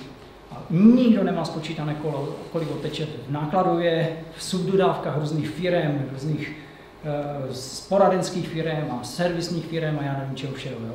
To znamená, nám v tom odvětví chybí prachy. A my jediný zdroj, který je daný tím, že nás je 10 milionů, a víc nás nebude, jako možná nás bude o 100 milionů, ale ne zásadně, se je vodné a stočné. Tak a hodné stočné už vyrostlo na úroveň Francie, Německa, takže už nemáme tam ten poštář, který tam by byl. A my řekneme dobře 20, 30, 10% prostě poteče ven. Maria, proč? Víš si tu vodu, půlka té republiky, jak jsem vám tady ukazoval, je v rukou měst za obcí. A evidentně tam je vidět, že si tu vodu umíme prodávat sami. Nepotřebujeme prostě k tomu nikoho. Jo, na co potřebují ty, ty lidi uprostřed, kteří přišli vydělat? Ať si vydělávají na... Proč je vyhnali z Francie? No protože pochopili, že to je špatně. Že to je špatně. Jo? Že, že to prostě nefunguje. A tohle nefunguje, prosím vás, to je ve zdravotnictví, to je samozřejmě v teplárenství, energetice, ve vodárenství. Z druhé strany fakt se nemůžu věnovat všemu, to nejde. Já říkám, ta voda je úplně nejpodstatnější a napravme to v jednom, pak to půjde napravit dalším, zase precedence. No a poslední věc, která už nesouvisí s výkladem, ale s tím, co s tím. Eh, já, jsem, já to dělám nějakou dobu, po nějaké konzultaci s novináři. Novináři se o tom bojí psát. Prosím vás, novinář mi řekne, buď já mám zakázáno, nebo je to složité, je to tak složité, že já to lidem neumím vysvětlit. A já říkám, prosím vás, studna, já řeknu mu ten příklad s tou studnou, on říká, chápete to? On říká, chápu, tak to napište takhle. On říká, no jo, ale to já, na rovinu já se musím přiznat, že já mám na to zákaz se tam psát. Já nesmím psát. Říkám, aha. Všimněte si, projděte si někdy právo, jestli jste někdy našli nějaký článek o vodě. Právo, hezké slovo, krásné slovo, úderné, prostě hodně. Ne, neřeším rudé právo, nebo právo. Jo. Česká televize, ano, tady jak někdo říkal, že nemá vůbec žádnou dobrou zkušenost, tak já můžu říct, že jsou dva pořady, které se vodě věnují, ale věnují se jí jednou za, za dva roky. To je znamená, že vás štípnu za zadek. Ne, že vám prostě pořádně zatopím každý měsíc nějakou zprávu, do, do, aby se to dostalo do povědomí, aby veřejnost to začala vnímat. Sucho se začalo teďka diskutovat, ale o tomhle se nemluví. Reportéři čete, tam si myslím, že pan Macháček je z Pardubic a ví, že jsem Pardubice ubránil, že jsem vyhrál žalobu to rozhodující na, na, na, na, na ten systém, který oni pokoutnou valnou hromadou zkoušeli vlastně ohnout úplně hlasování, které neproběhlo tak, jak oni se tvářili, že to je schválené, aspoň část toho. Tak on, on o tom něco věděl, tak ten se, ten se začal na to, na to nějak informovat a ptát, jako jak to vlastně funguje. Jo? A začali o tom točit. Jak jsem mnou, tak i s jinými lidmi. A potom pořád Nedej se plus to je ČT2. Ti se taky nebojí a taky se k tomu vrací. A jsou tam na ně podávané jako stížnosti a radě České televize a na mě tam píšou sračky, to se fakt jako nedá říct jinak. Uh, já se tím v podstatě bavím, protože já, tak jak mi to ten člověk na tom parkovišti na tak jsem vlastně pochopil, že ti lidi jsou bezradní. Oni, oni vymýšlí prostě, oni už neví jak, tak, tak zkouší zastrašit. V roce 2005, to možná jako mi bylo sděleno dokonce obvinění na rozdíl paní Vytázkové za, za 19 dnů zástupce to obvinění zrušil. S tím, že tam jasně napsal, že, že z toho pochopil, že zaprvé bylo vyslechnuta nevím jedna, ale den podání, den podání toho trestního oznámení policista už vyslechl ty, ty kteří to psali. Psali to právníci koncernu, že jo. Eh, mě, mě se na nic nezeptali, když mi byl, řekli mi, že jsem chtěl 50 milionů korun úplatek v roce 2003, v roce 2005 podávali trestní oznámení. Eh, že jsem chtěl 50 milionů platek za to, že ovlivním výstup z té komise. Já jsem tomu policajtovi řekl, prosím vás, 50 milionů, v čem to bylo? A on říkal, vy si z toho děláte nějakou prdel. No já říkám, no chci vědět, čím je hodnotí, jestli to v lirách, nebo v librách, nebo v korunách, to, musí, to vám tam museli uvést. Tak on říkal, no, koruna. Já říkám, no výborně. A teď se podívejte, jakou pravomoc jsem měl v té, v té komisi a teď si představte, že jsem asi tak blbý, že bych mafiánovi nabízel, že mu něco zařídím, co nevím zařídit. Myslíte si, že jsem tak blbý? A ten policajt se na mě díval a furt jsem na něho koukal, že se dívá furt nějak jako divně. Jako, jo? No, přesto jako obvinění zrušila státní zástupce po podání stížnosti, prostě, že to je tak absurdní, že, že, že zaprvé jsem se s, s tím koncem se nikdy nesetkal. A jestli, tak jsem se setkal s Pentou, která v tu dobu nefungovala vůbec na trhu, a proto, protože mi právník, který v té době pro mě dělal, říkal, že by mohli být konkurent eh, té soukromí, těch soukromých firm, které tam nastoupily. Ale když jsem chtěl vědět, kolik, kolik jak do toho odvětví přinesou, tak jsem řekl, podívejte se, nejlépe bude, když přijdete na komisi a tam to všechno vyklopíte. To je to, co vám můžu dělat. A na komisi jsem šel a nahlásil jsem, že se se s ním setkal.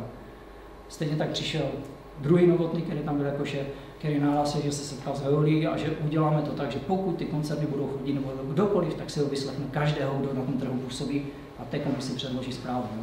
To znamená, státní zástupce to zrušil, pak přinesli nahrávku, kde byl ten právník, pak jsem zjistil, že on už pracuje pro Pentu a podobně, kde vykládal, že, že udělá to a to a to a že, že a mě zmákne a podobně. Já jsem říkal, jo, jasně, Pán doktor, podívejte se, kdo ho, kdo ho platil poslední dva roky. A tady se podívejte, co následovalo já, když jsem, když jsem komisi doložil, doložil, že se dějí tyhle věci. Mě zmlátili, doktor byl dva roky placen, takže co tomu chcete dodat. Jo. Ale o, to, o tuto podstatu, to, to, toto je podle mě fakt důkaz toho, že oni jsou bezradní proti té informovanosti, proti tomu, že, že jsme vytrvali, že prostě necouváme, tak jak paní Vytázková řekla, já, já fakt jsem rozhodnutý tomu necouvat. Na mě byly nedávno podané žaloby ve koncernem Veolian a já jsem na to napsal, já jsem je zveřejnil, nebo zveřejnil jsem, že byly podané a řekl jsem, beru to jako úplně nejbrutálnější útok na svou osobu z toho, co jsem zatím zažil. Protože si myslím, že to nemá nic společného. Kdo se nad tím zamyslí, tak musí vědět, že, že to není nic jiného než pokus zastrašit nejenom mě, ale všechny ostatní, které. To je můj názor, zatím si stojím, tak jsem to napsal i do vyjádření. Když jsme to probírali s právníky, právníci řekli, je to systém, jak z vás ždímat čas peníze. A když jsme se na to téma bavili i s policií, tak mi bylo řekl, nevíme, dejte si bacha, to, co vyjádření, které pošlete na soudy, pošlete rovnou i těm soudcům, i těm novinářům, i těm, s kterými komunikujete v těch médiích, aby oni ho měli, aby se vám náhodou něco nestalo. Takže jsem to udělal. Jo, celý ten balík, včetně důkazů, který jsem poslal na soudy, jsem udělal, touto cestou jsem rozeslal. Od té doby se mnou někteří novináři komunikují daleko víc. To je pravda. Řešení vrátit do rukou města obcí, do vodáren do rukou města obcí, voda, infrastrukturu, trubky, lidi, smluvní portfolia, prostě zprávu vody, voda, vody nechat pod, pod vodím, zprávu vody vrátit do vodáren města obcí. A skončit to, udělat z toho jak veřejnou službu. Neříkám prosím vás neziskovky, my to tam máme takhle napsané v té petici, ale vrátit prostě tyto tři suby, ty tři nohy, na kterých to stojí, provoz, voda, trubky, prostě musí být pod zprávou v tom, v tom cyklu, o kterém jsme se tady bavili. Pak z toho vypadne ten soukromý zájem, pak v tom zůstávají jenom zájmy samozpráv, vlastníků a zájmy občanů. Neznamená to, že to bude jednoduše, neznamená, není jedna cesta. V Severním Moravu budeme muset stejně jako Berlín koupit za drahé peníze. Protože prostě to jsou jejich akcie, to je jejich majetek a, a to, že je starostové prodali za brzký peníz, je problém českých voličů. Omlouvám se, že neříkám politiku, ale českých voličů, že tyto lidi jsme se tam navolili sami. A co se týká jiných, tak tam, kde ty smlouvy končí, tam, je neopok- tam v nich nepokračovat, prostě říct dva roky dopředu, počítejte s tím, že v té já ne. Buď se domluvíme na rozhodné ceně teď dva roky dopředu, nebo se nedomluvíme a my začínáme stavět fabriku na zelené luce nebo počítáme s tím, že to krachne, vyřešíme nějak zatím na půl roku okolními vodárnami zásobování lidí a ti lidi, které vy propustíte, přijdou k nám, protože ti lidi samozřejmě nebudou chtít na pracáku dělat nebo zůstat na pracáku, když jsou 30 roků zkušení vodaři a mají tam fabriku. Takže se změní vysačky z koncernu na městskou vodárnu. E, takhle to proběhlo v podstatě v Plzni. Jo? Už celý plzeňský kraj přešel touto cestou, sice za hanebnou cenu, pro mě, já, jako řešíme i tu, tu kalkulaci, protože vím, že je fabrika, že jediná hodnota byla je ta smlouva s, tím městem a to město si to odkoupilo za 700 milionů, ale, ale přesto říkám, furt lepší, než kdyby to nebylo. A pak je tam samozřejmě i ta cesta soudní. Do toho se samozřejmě politikům nechce, protože by museli jít po těch, kteří to udělali a jsou tam, vždycky tam jsou nějaké koalice ODS nebo ČSSD a ti samozřejmě nechcou vykopávat pohrobky a kostlivce ze, skříní. Ale tam je to úplně nejlevnější, protože v okamžiku, kdy tam došlo k protiprávnímu uzavření smlouvy, tak se vrací plnění.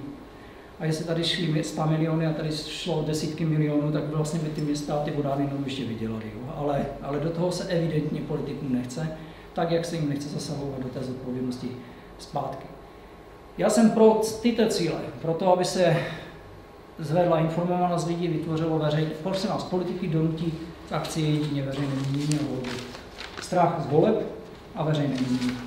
Takže jsem založil nadační fond, to jsme dělali i po nějaké konzultaci právě s novináři, institucionalizovat, institucionalizovat, aby každý věděl, proč, jaké jsou cíle, proč to děláte, takhle, jak to děláte jako fyzická osoba, my vás známe, my víme. Ten má ty cíle, o kterých jsem teďka řekl. Hlavně vytvořit tu databázi, kde to je, kde ta hodnocení je, dokonce mi volají lidi z finančního úřadu, že, že používají ty údaje, takže to je fajn. A, a, za, a samozřejmě zastupitele. A spustili jsme k tomu, já nejsem petiční typ. A spustil jsem petici. Hmm. Takže se nejsem petiční typ, proto protože vím, že petic je strašně moc a lidi říkají, ty co z petic bude. Ne, petice je prosím vás jeden z kroků, který děláme, ale je důležitý, protože když dáme dohromady 10 000 podpisů, tak já to téma otevřu buď poslaneckém nebo senátorském petičním výboře, výboru. E, ti, ti, tam jsou lidi, kteří jsou soudní, komunikujeme spolu a oni říkají, prosím vás, udělejte to. E, my nemůžeme furt probrat ty ostatní, oni furt se tváří, že se jako kdyby nic neděje, nebo že, to, jako, že, že, to, že tomu nerozumí a že teď to funguje, teď ty lidi furt jim ta, voda teče. Jo? A, a oni to chápou už dneska. Takže toto je cesta, kde to chceme otevřít tak, aby se tomu začali věnovat média pravidelně, protože když to začne řešit petiční výbor, bude tam mít větší jako kdyby, pozornost, ale hlavně to budou řešit politici. Eh, je to samozřejmě i tlak napříč politickým spektrem, takže oslovujeme, připravuje oslovení všech politiků v poslanecké sněmovně a v Senátu s jasnou otázkou, řekněte nám vaše stanovisko, osobní stanovisko, kdo má mít rukou vodu, trubky a hospodaření s vodou a my ho chceme zveřejnit, aby jsme věděli, jaký je váš soukromý názor, ne vaše politické strany, váš soukromý názor, aby to lidi věděli, aby věděli, koho volit, koho nevolit. Protože voda je pro ty lidi zásadní. E, to se strašně moc e, líbí, pár lidem se to strašně moc líbí a strašně moc lidem se to nelíbí, že, že to chystám. Dokonce mě i oslovovali, abych, abych to nedělal, že až po volbách a takové věci. Jo. To, to, to, hned jsem vycítil, že, že jsme trefili hřebíček na hlavičku. To je jedna věc. Druhá věc je kontrola eh, hospodaření soukromých firm, eh, stanovování vodného stočného, protože jsme zjistili, že je jeden koncern, zatím vím o jednom koncernu, si zavedl v podstatě něco jako vlastní DPH, eh, poplatek z obratu. A je to jako, že, že používáte jeho značku, tak, tak z obratu odvedete nějaké procento. Takže pan Brabec chce snižovat DPH ze státu, které máme, to je taky daň z obratu, když se nad tím zamyslíte, daň z přidané hodnoty, tak z obratu vám napočítají nějaké procento, tak oni zase, co, co přijde, když stát sníží, tak oni zvýší, že? A to samozřejmě nemá nic společného s dodávkou vodného stočného, to je prostě něco, co je tam na uměle vytvořeno, aby se dali vytahovat dále peníze. Takže jsme požádali, aby ministerstvo financí, jako nadační fond požádali, aby ministerstvo financí udělal kontrolu všech těch koncernů, ale i, i, i městských vodáren, jestli tam něco takového není, ale není, městských vodáren jsem přesvědčen, že není nebo okresních. A po, po, pak je tam samozřejmě rozšiřování databáze datové, což je největší práce, protože prostě my tam máme asi teďka nějakých 50 společností, ale jich je samozřejmě moc, ale ty největší, které tvoří 80%, chceme mít na stránkách, ať si každý může najít to, co potřebuje, v pod, pod rychle dostupné a srozumitelné formě, aby tomu rozuměl a zdokumentování kaus, jak se tak vody dostali do rukou. To je, to je víceméně knížka, kterou teďka jsem o ní mluvil, že s paní Lorencovou dáváme dohromady knížku, která bude popisovat, jak se česká voda dostala, jak se, jak se Trautenbergové dostali k české vodě, zjednodušeně řečeno. Pohádku o Trautenbergovi asi znáte všichni, jak, jak prodával vodu, nebo ne? No, tak v podstatě já jsem to někomu vysvětloval a řekl jsem, panové, toto, toto je stav, který nastal v reálném světě. Přesně takhle. Problém je v tom, že Kuba, a Heine se nechali koupit a Krakonoš umřel. Takže tak. Eh, co se týká nadačního fondu, tak eh, prosím vás, všechno najdete na stránkách pravdějovědě.cz.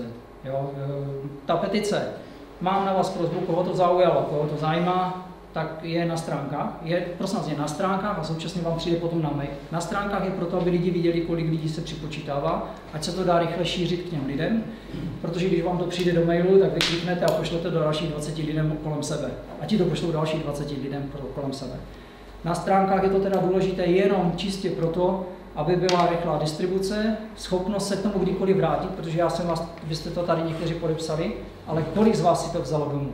Nikdo. Vy jste si to přečetli, souhlasíte? Já jsem si to vzal. Super. Máte mě, máte mě bonbon, jo? Nemám, na obrázek jako u doktora. Ne, to šíří přes internet. Já vím, spoustu lidí, jo? Ale, ale to je nejlepší cesta, ale hodnotu mají ty fyzické podpisy. Je třeba to podepsat, obejít známe a pak mi to poslat na nadační fond. My to kumulujeme na, na stránkách Víčku, na stránkách mám 3200, ale fyzicky už mám nějaký 4000, protože samozřejmě každý člověk, který to poslal, sehnal minimálně 2, 3, 4. Teď mi přišla paní, 80 letá paní, mi přišla, dovezla 200 podpisů na elektrokolu a říká, dejte mi další, já nemám tiskárnu. No.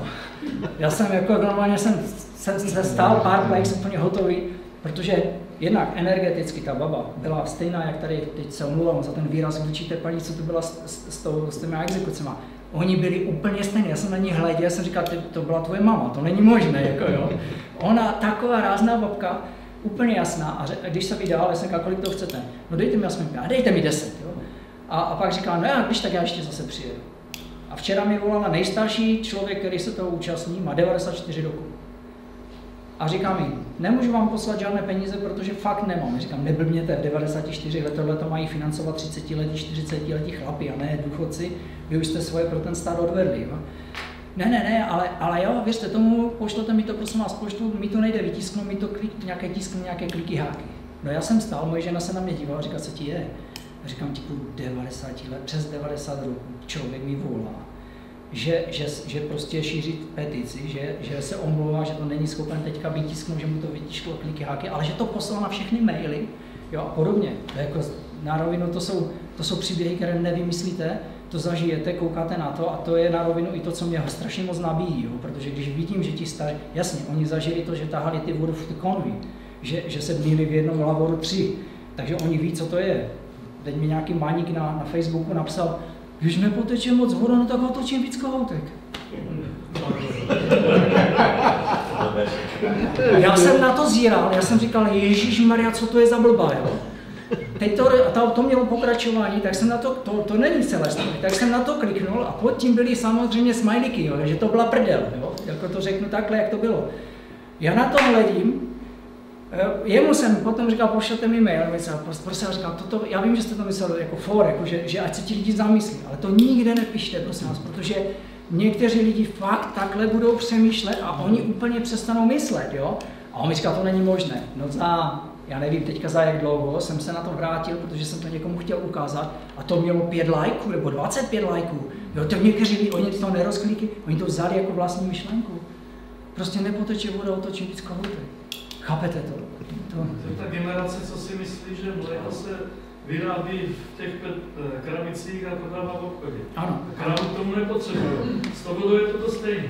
Já bych eh, ještě chtěl poprosit, abyste si vzal tu petici a porobila, porobila bod po bodu to, co je na druhé straně, protože tam je spousta velice důležitých věcí, které bych se buď chtěl ptát, nebo abyste vysvětlil, že pro mě tam je. Já vám to vysvětlím, já to projedu a možná vám odpovím že upozorňujete, že je naprosto nedostatečně provedena v České republice zabezpečení zdrojů pitné vody. No ochrana, ochrana. Ochrany a bezpečnosti proti teroristickým a vandalistickým nějakým jakým útokům. Dobré, půjdu rychle, abych už nezdržel, už si myslím, že jdu přes čas. Jo? Takže prosím vás, petice. Gro té petice vychází z petice, která už jsem já šířil po České republice v roce 2013. Eh, z Right to Water, eh, společně s organizací Right to Water, která podobnou petici sepisovala pro Evropský parlament. Když zjistili, že jim chcou zprivatizovat vodu nebo e, zkomercionalizovat prodej vody v zahraničí. E, k tomu se přidalo řádově 30 tisíc Čechů, nebo Čechů a Moraváků a Slezanů, nikoho se nedotknu, kteří celkově dva, skoro 2 miliony lidí a byly tak silné lobistické tlaky, že, že prostě měla existovat podobná směrnice, o které tady někdo mluvil z těch lidí, že se prostě přijela tupá směrnice a my ji musíme teďka respektovat, o tom, že prostě provoz vodovodu a kanalizaci se má zprivatizovat. Tak proti tomu se postavili. Kdo jsme, já jsem to šířil, mám od nich dokonce děkovný dopis, že nejvíc lidí jako kdyby se odkazovalo na mě, takže jsme v úzké komunikaci. Když nám je koncern podal teďka tu žalobu, tak mi poslali, mám dohromady 140 dokumentů v angličtině o, o různých korupčních kauzách, z toho 14 je jasných, ty jsou, ty, to jsou i rozsudky, které dokládají, jak se ty koncerny venku chovají díky té spolupráci s nima, ale podstatné je, že se to tam podařilo zastavit. Jo? A že se naopak začaly dít rekomunalizační systémy. E, část toho je dělaná z hodaři a část toho je dělaná samozřejmě z právníky a část toho je dělaná v podstatě s lidmi, kteří se věnují bezpečnosti státu nebo se dívají na pohled bezpečnosti státu. To jsou ty, to jsou ty konce. E, první bod, vytvoření státní vodárenské koncepce zlomová záležitost, která rozhodla o tom, že voda je v rukou Izrael, Izraele, že stát má prostě pod sebou kontrolu, že vlastně naprší voda do kyble a furt ta voda je státní. A, a stát oni může jedině stát oni může rozhodovat. To znamená apolitická, vytvořit, zrušit to, že vody, vodárenské odvětví je, je rozděleno mezi vliv šesti ministerstev, kdy všichni odpovídají za všechno a nikdo za nic. Každý za kousek, to znamená v celku nikdo za nic. Krásně to popsal v knize Budíš voda, to si napište, to doporučuji každému přečíst. Eh, je to, má to předmluvu od Brabce a od Jurečky, což já říkám, chlapi, když jste to četli, proč to tu nezavádíte? To je divné, že? Doufám, že se to stane, že se to nějak posune. Budíš voda se to jmenuje. Kde říká, představte si, že máte strom a máte ministerstvo pro kůru, ministerstvo pro kmen, ministerstvo pro kořeny, ministerstvo pro listí, a dokonce i ministerstvo pro stín, který vrhá ten strom. Tak takhle u nás fungovalo ministerstvo, fungování vodárenského systému. Samozřejmě každé ministerstvo si hrálo svoje, ti ministři se tam střídali, nemělo to kontinuity a podobně. Prosím vás, neměli tak stejné u nás. Ministerstvo financí, cena, ministerstvo zemědělství, jako prioritně to má ministerstvo životního prostředí, dotace, ministerstvo pro místní rozvoj, část dotací, ministerstvo zdravotnictví, hygiena, nevím, nenašel jsem, které ministerstvo je ministerstvo prostín, ale eh, v podstatě všechny, protože když se řeší konečný stav, tak nikdo za nic nemůže. Jo? Takže apolitická, dneska apolitický státní systém, který funguje na tom, že, že ať se střídají politici, jak se střídají, oni pochopili a tam došlo k tomu politickému koncenzu, že bez té vody je ti Arabi ušlapou. Takže že to musí řešit. Stanovení přístupu k pitné vodě je základním právem každého občana, garantované v ústavě. Je to dané, prosím vás, tenhle ten požadavek je daný s tím, že legislativně nad vším je nastavena ústava. A pokud někdo přijde s nějakou komercionalizací tady dole, tak mu řeknu, porušíš ústavu, nazdar. Nějaké práce. Já vím, já vím, my se známe. Zachování, já vás sleduju, nebojte se. Zachování zásady voda není zboží. Prosím vás, koncern Nestle a jeho ředitel někde prohlásil, že voda je zboží jako všechno ostatní a měl by se zprivatizovat, aby koncern mohl, o to neřekl, ale aby koncern mohl dále bohatnout. Eh, prosím vás, když tohle to nastavíme, tak nás pak za chvilku budeme platit za vzduch. Můj kluk na to řekl, budeme platit i za prd. Já říkám, prosím vás, to je hruza, to o tom ani nemluvte, protože už o tom někdo začne přemýšlet, to vůbec nikde neříkejte. Jo. Ale to je přesně ono, prostě voda nemůže být zboží, protože to, to není zboží, nikdo nevyrábí. Jasně, dodávka vody a tak dále chápu, ale i když i, i tento, ta distribuce vody nebo čištění té vody, ať to zůstane jako veřejná služba, ať se z toho nedělá biznis, Protože kdo zaručí, že tu trubku, kterou někdo prostě nevybydlí, protože on chce zisky a on má právo podnikat. Jedí, jo, tohle to prostě ten, ten starosta bude chtít být znovu zvolen. Prostě on nebude chtít, aby mu tam lidi pili něco, co, co z toho budou mít průjem, jako v Davicích, že? Takže on, on si nedovolí, on bude ty peníze radši reinvestovat a on konec konců nemusí odvádět desátky majitelům koncernu. No. Zpracování zásady, že služba zásobování čištění odpadních jsou provedeny ve veřejném zájmu a proto je jsou lidská práva nadřazené zájmy soukromých subjektů. Myslím, že nemusím vysvětlovat. Zahájení procesu vedoucí k transformaci stávajících společností působící v oblasti vodárenství do podoby neziskových společností. Myšleno, prosím vás, nemusíme z toho dělat neziskovky, ale udělat společnosti fungující ve veřejném zájmu. Jo? To znamená, to, to, to, to, je jenom, to znamená, jo? jako je to myšleno forma. Garantování, že provozování vodovou kanalizace má podobu a charakter veřejné služby. Vodu jsme si nechali v povodí, Trubky jsme si nechali, ale provoz jsme spravili. To je to, co ta, ta vláda teďka chytře vymyslela. Vrátíme trubky do rukou měst a obcí a oni v těch rukou měst a obcí, takže nemusíme dělat, už máme splněno. Tečka. Provozování vodovodu, kanalizaci ani slovo. Začlenění zásady, že vlastnictví, zpráva a kontrola voda a infrastruktury, hospodaření s vodou musí být v rukou veřejné samozprávy dopravních norem. To znamená úprava, postupná úprava legislativy. Prostě nechceme nic národňovat. Je to nesmysl. Smlouvy doběhnou prostě a, a zastaví se hospodářská, vytvoří se koncepce, která řekne postupně, prostě tak, jak to bude, to bude přecházet. A politici už nebudou vymýšlet eh, nějaké, nějaké svoje černé financování politických stran, protože budou chápat, že když ten stát nebude fungovat, tak nebudou ani politici. Jo. Takže to by měli snad pochopit. Zajištění bezpečnosti pramení vodních zdrojů dodávek vody proti vandalismu, terorismu, spolupráce s bezpečností složek státu. Prosím vás, dneska se o tom starají pracovníci povodí, a, a někdy ty vodaři tím ještě, hlavně z těch městských vodáren, ale pokud se je tlak na to snižovat, snižovat e, náklady, tak, tak to prostě není dostatečné. A jako fyzicky už nám někdo najíždí do lidí na, na, na, jako na, na náměstí. To už není v situaci, že, že někde v Somálsku prostě mezi sebou střílejí se děcka. Jo, vidíte, co se děje v Německu, vidíte, co se děje to. A já, kdybych chtěl něco řešit takového, já nebudu najíždět žádným autobusem mezi lidi. Já si vyjdu 20 metrů nad, nad někde nějaký vtop a vyřeším to prostě úplně jinak.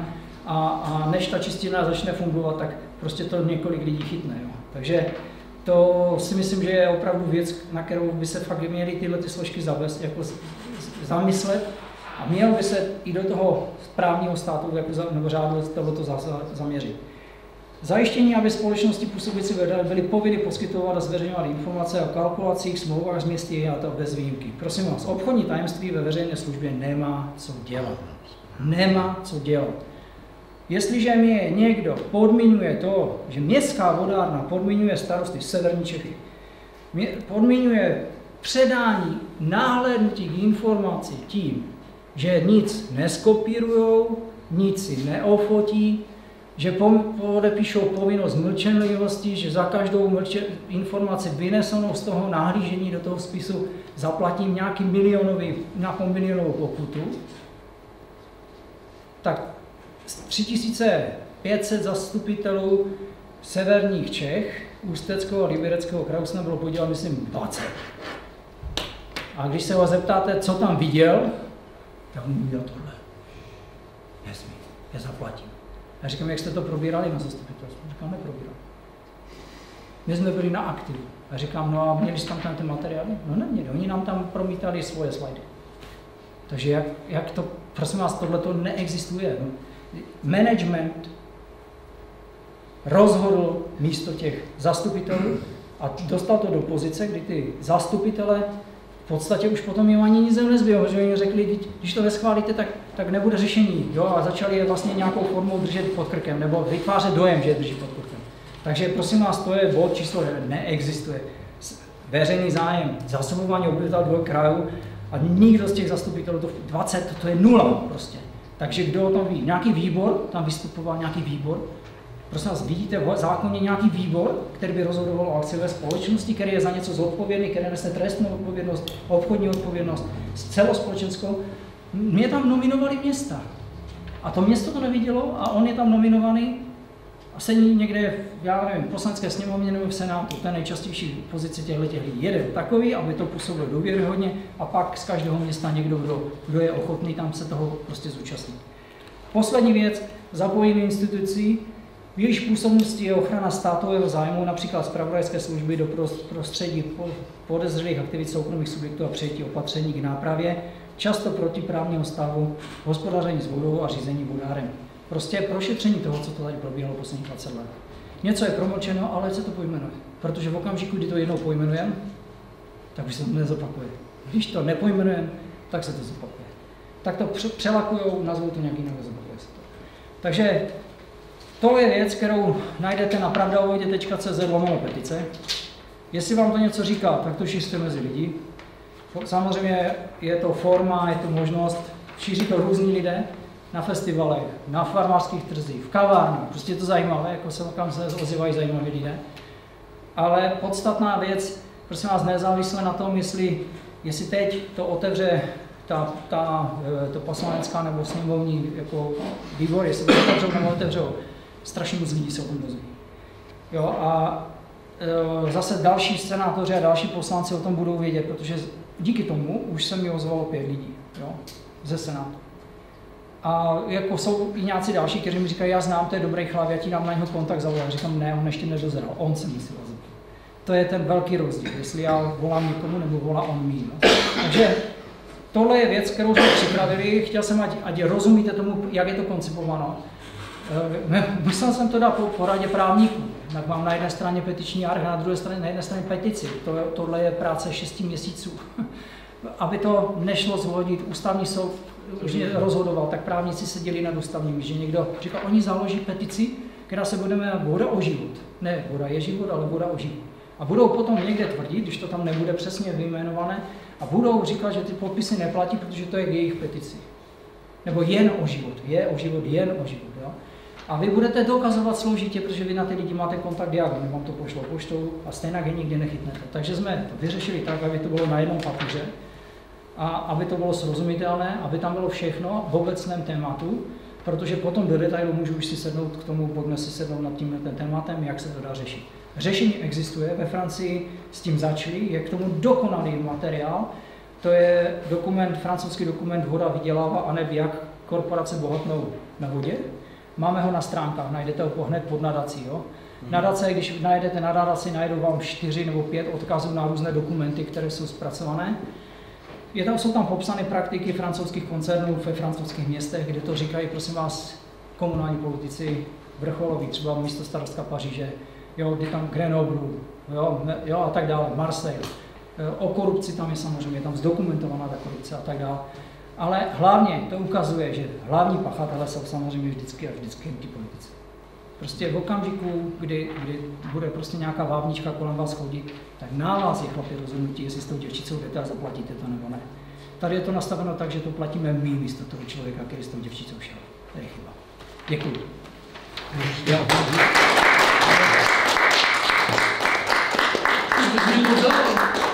Aha, tak Já vám to dám. Jo, já, já vám to dám. Já bych rád- Jo, dejte se, prosím vás, já se omlouvám. Já jsem... Já, já mám takovou malou, malou trochu, Už to hovořil strašně dlouho a samozřejmě už každý chce mít eh, trošku v pokoji. Takže eh, já tu situaci ve Zlíně znám, že tam bydlí můj syn a on vám eh, to taky podepsal, myslím. A eh, to, co chci říct, by spíš se hodilo pro tu otázku té bezpečnosti a ochrany vodních zdrojů. Já jsem je to už nějaký čas viděl v televizi, já se občas podívám na televizi, nemám ji teda, ale jsem někde, kde se občas podívám, takže ten pořad a dost, tam monitoroval uh, kvalitu spodních vod, a speciálně byl tam, byl na výjezdu ten eh, rektor Tuna eh, v několika eh, místech, kde se, kde se odebíraly vzorky spodních vod, nějaký, vod, nějaký hloubek kolem 20 metrů a e, současně poukazovali na místa, tak jak jste tady měl ten, tu mapu České republiky, kde, jak, které, které spodní vody jsou jak znečištěny. Od, od chemikálií těch polí a těch majitelů, vlastníků těch, těch lánů, třeba řepky a tak dále, kdy, to, kdy se tam stříká chemie. Takže já si myslím, eh, pane, pane Novotný, že by to stálo za úvahu tohle, co tam jako tak nějak, jo, hlídat nějaký monitoring ty spodní vody, protože maloplatný vodárny vám sice čistějí vodu, mají na to nějaký mechanický filtry, taky bohužel chemický, že jo, a když se je veřejnost všeobec- všeobecně eh, informována, že všechno je dobrý, všechno je v ažuru, eh, tak já si nemyslím, že by to bylo až tak dobře v ažuru, protože ještě do nedávné doby, když jsem eh, s maminkou vlastnil tady v Hradci Králové domek s, s kopanou studnou, tak jsem při čištění, tak jsem si nechával tady u uh, hygieny nechávat analýzu ty vody, no nedopadlo to zrovna dobře. A tak jako to bylo, to bylo jenom asi 6 metrů jenom, že jo, takže z těch polí se to tam jako, to, to není ta spodní voda, že jo, ale ta spodní voda je někde kolem těch 20 a více větší hloubka. A ukazovali tam eh, speciálně tady na tom, v tom pořadu, eh, že eh, ten výzkumák, myslím, že to byl výzkumák asi, vodohospodářský, že, dělal, že, že dělal, dělá občasné kontroly, analýzy těch spodních vod a že by teda stálo za úvahu adresně vědět, v kterých lokalitách ta spodní voda je zasažená už nějakými těmi mikrogramy a tak dále, čeho, jakýchsi látek. Speciálně teda tam poukazovali na, aspoň jestli to bylo účelově udělané, nevím, eh, to nedokážu posoudit, takže prostě ty velké hektary, co vlastní eh, zemědělské podniky pod Agrofertem, tak prostě jsou tam hodně teda jako, Dusičnany, jako jo. Já jsem, já vím, o čem mluvíte. Takže jako to mě docela nadzvedlo a zvlášť tady chválí hradečáky, že jak jsem jednou jel tady autem, tak nebudu říkat kde, je to opravdu na hranici, byl tam obrovský před volbama loni, eh, takový billboard, žlutý úplně, jako, a bylo tam velkým písmena napsáno, jako vidíte to žlutě, jako jo, Uh, máte dražší naftu, Babiš má 6 miliard dotace. Jako jo, takže jako, to jsem si říkal, tak to je teda trefný. Jako, jako, takže zhrnu to rezumé, to, ten monitoring eh, tady těch spodních vod by měl někdo dělat, jako, řekněme, jednou za rok, to udělat nějaké to hodnocení v lokalitě celého národa, jako celý stát. Jo, po, po těch okresech to dělám. No, tak. Podívejte, to je, to je problém, jako to není jenom ze to je uh, na odtoku té vodárny, z té vodárny do vodovodního potrubí, ta voda splňuje z 99,9% u všech těch vodáren z hygienické normy. Nebo teďka řešit hygienické normy. Ale než projde těma starýma trubkama k těm konečným spotřebitelům, tak zjistíte, že tomu člověku teče pivo jo, bez pěny. To je ten problém. Jo? Že, a ti lidi, když si začnou stěžovat, tak eh, dojde to k situaci, že oni říkají, my splňujeme, my tady máme, nám to teče, trubky jsou města. Tečka. Jo? Když to, když je trubka i ten provoz toho města, tak ten starosta, když to někomu řekne, tak on přijde do hospody a první věc, kterou dostane, dostane facku a pak ví, že příště už nebude zvolen, tak to jde opravit. Přeháním teďka, jo, ale jako lidsky to vysvětlím. Takhle to prostě je toho Japonce, ani neuvidíte na to, že abyste mu tu fotku mohli dát, jako jo. Takže, a on uvidí jenom vaše peníze, že? Takže to, takhle to je postavené, jo. A to je právě to, že to je, když je to globál, je to, je to jednoznačně, je to v celku, tak tahle to záležitost je. Máte pravdu. Mně šlo o to, aby to bylo, aby to bylo potom inform, aby, to, aby to bylo na informaci na nějakém portálu, kde by si každý mohl kliknout a říct, já nevím, jednou za rok nebo jednou i za půl roku, třeba jo, z mého pohledu jednou spíš za půl roku než jednou za rok, ale minimálně jednou za rok. No, a, aby skutečně tyhle ty sondy, které jsou po celé republice někde v nějakých hloubkách, aby prostě se tam ta voda odebírala a monitorovala se ten, ten stav. Eh, na rovinu, takhle jsme o tom neuvažovali, jsme o tom uvažovali v jiném režimu, ale to v režimu, kdy víme, že v rámci eh, toho monitoringu, co se monitoruje, co je ve stavu, tak jsou nastavené nějaké hygienické normy. Ale hygienické normy se ohýbají nahoru dolů, ale hlavně oni nezabírají nové látky. To jsou plasty, mikroskopické rozložené, to jsou hormonální věci, to jsou léky, to jsou věci, které tady padají z toho já teď nevím, řepky, jo, třeba rozložené a tak dále, když řepku se žere srče, tak umře, takže, takže něco, na, něco na tom nebude zdravého. A, a tohle je věc, která nás zajímala taky, eh, zdokumentovat, co se vlastně konkrétně, co je v hygienických normách, protože ty jsou nastavené teďka přeženo z 50. let. A do té doby, v 50. letech nebyla hormonální antikoncepce. Jo. Dneska se všichni diví, proč, proč pánové jsou jako ne, neplodní nebo méně plodní a máme pomalé spermie a co máme všechno pomalé.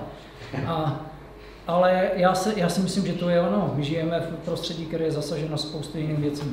Takže tak. Já bych měl dotaz ještě, nebo respektive jednu připomínku a jeden dotaz. Připomínka je o tom, že co se týká těch spodních vod, tak se, jak se ukazuje, velice rozmáhá, že si německé firmy pronajímají obrovské množství pozemků v příhraničních oblastech a pěstují na nich e, plodiny bohaté na biomasu, kuřice třeba nebo podobné věci. To vyvážejí do svých bioplynek na území Spolkové republiky. Tam to spečou a odpadové látky vozí zpátky na české území a na těch pozemcích vytváří laguny, které eh, v podstatě eh, kde je ta sušina, která byla využitá pro ty bioplinky, zbavená toho balastu a ten balast jde zase na našich pozemcích do těch lagun a znečišťuje spodní vody. A v současné době eh, je, se, se to začíná rozmáhat i v těch západních a jižních Čechách, a e, já mám takový pocit, že, že vám pošlu kontakt na člověka, který si v tyhle ty věci už vyžádal po, po vytázkový nějaký seznam těch bioplynek a takové věci, co se tím zabývá. A možná by stálo za úvahu se v těch věcích spojit i s Alenou Vytázkovou a My jsme se domlouvali, že se potkáme. Jo, tak to je potom Jo, jo. A druhou věc, to je spíš taková spontánní a hodně lidská. Člověk, když to všechno poslouchá, já nejsem právník, ale tak skoro nabývá dojmu, jestli by ty smlouvy s těma cizánskýma koncernama nešli zrušit z důvodu eh, jednostrannosti, protože tak jako když šmejdi prodávali důchodcům nějaký jednostranně naprosto nevýhodně pro, pro, pro, toho, pro toho seniora vlastně zboží, tak člověka napadá, jestli by nešlo celý tenhle ten bordel napadnout z důvodu jednostranné nevýhodnosti pro Českou republiku a zrušit to en bloc jako normálně, jako když se zabíjí prasata, protože já už ani jiný výraz pro to nemám. Eh, Říkám, nejsem právník, ale napadá mě tato ta varianta prostě, protože to je tak do nebe volající a tak jednostranně prokazatelně dokazující, že je to pro Českou republiku nevýhodný, že bych to snad, kdyby jenom rétoricky, tak bych to na ty prasata použil. jako. Eh, v rámci nějakých jakoby, jakoby zpráv, že v podstatě eh, naši právníci zvažují, protože a tak dále a tak dále, protože to fakt člověka napadá, nevím, ty jsi třeba eh, právník nebo advokát, jestli, jestli by to šlo nějakým způsobem využít nebo ne, já nejsem, ale fakt mě normálně jímá hrůza a, a zvažoval bych tuto tu variantu, protože, protože mně připadá, že to po ní úplně volá. Prostě. Já vám, já vám na to odpovím ne přes právníky, ale přes právní, právníci soudy. Právníci připravili žaloby, prošli jsme kolečkem, spadlo to, soudy rozhodly. Společnost protiprávně ovládli soukromý subjekt a následovalo uzavření smlouvy. To znamená proces a ovládli tím, že, že a valná hromada, která to schválila, která musela ze zákona toto schválit, jinak, jinak nebylo představenstvo pověřeno prodat část podniku, to je ze zákona dané, tak, tak prostě to udělalo protiprávně, dávala hromada tě nikdy neschválila, protože to schvaloval ten soukromý subjekt sám sobě v podstatě. Jo. To ne, znamená, ale ty obce ne, ne, prováděly kroky Ale- prostřednictvím zastupitelů, ne, které byly jednostranně nevýhodný pro obce, občany Českou republiku potažmo. to, to souhlasím, ale tady to dokonce bylo i tak, že část těch hlasovacích práv s ním disponoval soukromý subjekt, ty obce tam ani nebyly, to si rozhodl ten soukromý subjekt sám sobě. Jo. To je úplně šílené. A my máme takové rozhodnutí a šli jsme s tím na policii. A říkali jsme, není splněna zákona podmínka. Máme rozhodnutí soudu, který říká, že to někdo protiprávně, že to je komplot, že to protiprávně ovládá, že valná hromada to prostě neschválila. To znamená, někdo to užívá protiprávně. To nikdy le- legálně nikdo nemohl nabít, když není splněna zákona podmínka, která je kompetentní. Čtyři roky nebo tři roky to šetřili policajti. Čtyři roky jsem byl veden jako poškozený.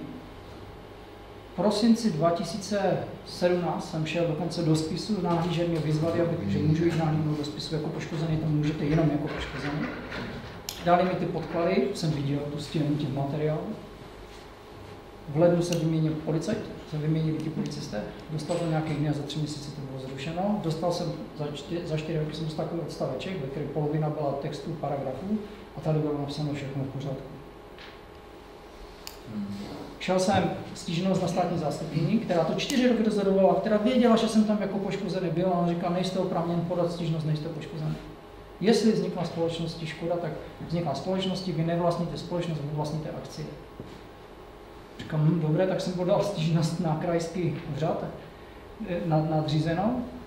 A tam mi, řek, tam mi napsali teda po delší době, tam ne po 14 dnech, napsali, že všechno je v pořádku. Že už ať, ať to radši nepíšu. Prosím vás, já mám, roz, oni jdou proti rozhodnutí toho soudu dokonce. Oni, oni, někoho nezajímá, že městskou vodárnu někdo protiprávně ovládá to, kdo to umožnil, kdo to způsobil, kdo to spáchal. To není trestná činnost, porušování povinností při správě cizího majetku. To není podvod, oni, os, oni x let tvrdili, že, že tu společnost nikdo neovládá, že ji vlastně a obce. To není zneužití informací v obchodním styku, když tam v tomhle tom fungovaly soukromé subjekty. Tak v tom případě, jestli neplatí tady justice, tak si to řekněme a jdeme do toho systémem, kdo má větší ký, ten víc bere. Ale jestliže nefunguje, to je to, co jsem se ptal paní Vytázkové. Jak z toho ven? Protože jestliže justice funguje po 15 letech s rozsudkem, tak nefunguje. Jestliže mám pět ústavních rozhodnutí soudů, ústavních soudců, že, že nižší soudy jsou, jsou prostě, jednají, se dopouští soudní zvůle, Teď to je porušování zákona, teď by ty soudci jsou za, za to placení, teď jako když se dopouští soudní zvůle, už by tam neměli dávno být, jako, já se nemůžu pomoct. Ne? No a když politici proto to hlasují a manipulují ty zastupitele, no tak tomu asi není co dodat. Ten systém je prostě zdegenerovaný a přešel do systému, který pojmenovala ta gorila. Si přečtěte tu knížku Gorila, kterou napsal Tim Michalson. Já jsem četl dokonce i ten, i ten, i ten přepis té gorily, jo? Ne, nejenom tu jeho knížku, protože to... Já to sledoval kdysi, když to bylo... No, to je hodně, hodně poučné. A jsem přesvědčen, že takhle to funguje v České A ještě jenom takový symbolický dotaz. Eh, při projednávání těch věcí nebo při nějakých stycích vlastně eh, s lidmi, kteří sedějí eh, ve sněmovně a nebo v Senátu, ano. tak ty sněmovní v podstatě žijou s nějakým pocitem, že hájí zájmy strany, ale přece jenom já mám takovou nepatrnou zkušenost, že ty, kteří sedí v Senátu, tak trošku víc vnímají, že tam jsou taky tak trochu víc za sebe, za sebe, mm-hmm. tak e, narazil jste nějaký rozdíl v pojetí vnímání těch mezi senátorem a Jednoznačně, přesně jak jste to řekl. Jo. Jednoznačně. Jednoznačně jsou, já to řeknu tak, v každé politické straně jsem narazil na velmi slušné lidi, a já jsem to někomu vysvětloval, tak 3-5%. Na velké gaunery 3-5%. A 90% lidí, kteří nemají šajnu, nechcou, nemůžou, věnují se něčemu jinému, rozumí něčemu jinému, mají toho moc a prostě to toho nejsou schopni pojmout, protože není tlak veřejnosti na to, aby se to vytáhlo jako velké téma, pak už by to jako brali, že se tím musí zabývat. Tak, jak je to v politických stranách, tak je to poskaleno napříč regionem od malé obce až po, po velkou. A samozřejmě tam, jak vyroste odpovědnost za to, tak náhodou se dostáváte, tak tam, nasazují, tam je samozřejmě víc těch uh, lobistických lidí, kteří jsou na úrovni toho, co tady popisovala paní Vydásková. A, a s tím přesně souhlasím, že to je tak, že prostě jsou lidi, kteří fakt, jim, jim to vidíte na očích. On je schopen vám lhát, on vám vykládá, když oni jsou schopni zajistit vhodné stočné pouze inflaci. Říkám, prosím vás, ukažte mi to, kde to je kolik peněz zateklo a o čem se tady bavíme. A ten člověk vám znovu zopakuje větu, kterou má naučenou a vy říkal. Ale v Senátu jsou víc lidí, kteří jsou víc za sebe. To je pravda. A i, z, i z těch lidí, kteří přijeli za mnou, jako nejhlopější hlášku, kterou jsem já slyšel od poslance, bylo, pane Novotný, já jsem poslanec. Jsem, já bych vás s vámi potřeboval mluvit, ale jsem poslanec, musíte přijít za mnou. Říkám, ne, nemusím. Věřte tomu, že z Ostravy do Prahy je to úplně stejně daleko z Prahy do Ostravy a jestli něco po mně chcete, tak musíte přes zem. A on, on mlčel a najednou se zvolil, pane, vy jste to nepochopil, já jsem poslanec.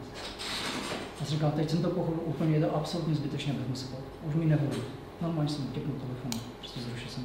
Od té doby jsem zavedl systém, jestli po mně někdo chce jezdit za Jo, protože oni mě tomhle cestou, já jsem jel na jednání, bylo... No, já si hodně považuji, že jste přijel za mnou. A to ne, takhle jsem to nemyslel. Takhle jsem to nemyslel. Ne, já bych tak nemyslel, ale já to tak cítím. Jako, jako já, pro, mě, pro mě to byla uh, hrozně silná záležitost a jsem za to moc rád a děkuji za ne, ne, já vás sleduju dlouho, stejně jako pana Piroutku, to se sledujeme, konec konců vás sleduju taktéž, ale jako je to o, o kapacitě a množství. A nejsem devítí hlava snad, když někdy tak působím, jo, ale nejsem. Děkuji. Dělej, máte někdo ještě nějaký dotaz na, na Radka Novotného? Teď chtěl poděkovat, protože vaše stránky znám, že jsem je stavoval jsem s tam věcí a mě tam velice zaujalo, a to můžete ještě slyšet, jak jste potom si částečně mluvil, že jste dokázal dostat dohromady starosti obcí na Zlinsku, kteří vlastně se proti tomu postavili jednotně a nic takového nikde jsem nikde neviděl, že by se to někdo pokusil. Tam no, nebylo psané, za jaké byly politické strany, ne. ale bylo evidentní, že starosta je rozhodující osoba v těch Jasné, vždycky ta hlava. A že to dokázali, že se proti tomu postavili, že jste dokázal vlastně k tomu přijít nějakým tím vysvětlením, to mě přišlo úžasné. Bylo to akorát, myslím, z toho Zlinska, tam další. Ne, ne, Přerov. První, prosím vás, první byl Přerov. Uh, jedním z členů správní rady je pan Chromec, což je nej, asi jeden z nejdéle sloužících předsedů představenstva okresní vodárny v České republice. On je ve Vaku Přerov. Je to doktor, ale současně fakt jako chytrý chlap, eh, velmi fundovaný a selský rozum, takový ten zdravý selský rozum a ještě z noblesu. To je neskutečná kombinace. A ten byl první, kdo, kdo ubránili jsme tu vodárnu třikrát. třikrát tam byly nájezdy různých skupin a on byl první, který se jak kdyby transformoval ten nejednotný rozdělený pocit do, do systému obce podepišme velké města a malé obce se k nám přidají. To znamená, Přerov byl první, pak, eh, pak byl náchod, ten jsem řešil vlastně celý já, nebo já jako z pohledu toho poradenství ve smyslu v tom, že jsem jim dal informace, ale vždycky to je o osobnostech v tom regionu. Buď se setkají, pospojují, anebo si každý jede po svém a pak začnou odpadávat. Krásně to popisoval v Severní Moravě. Vyjeli jsme 90%, přišel starosta a říká, nebudeme prodávat, souhlasíte? Odhlasovali, odešli. Přišli za 14 dnů a dva už tam byli. Za dalších to, tak jsme přišli nejdřív o 75%, pak o blokační minoritu a pak o majoritu a pak o 34%. Takže, takže je to o lidech, samozřejmě. Ale bacha, oni neměli informace. V 98. 99. ti lidi neměli informace, tam to šlo. Ale v 95. informace měli, prostě ode mě dostali všichni. Tak ještě někdo, prosím? Já už mě mají, chlapi už mě mají dost. Tak já. Děkuji vám moc krát. dobré, dobré.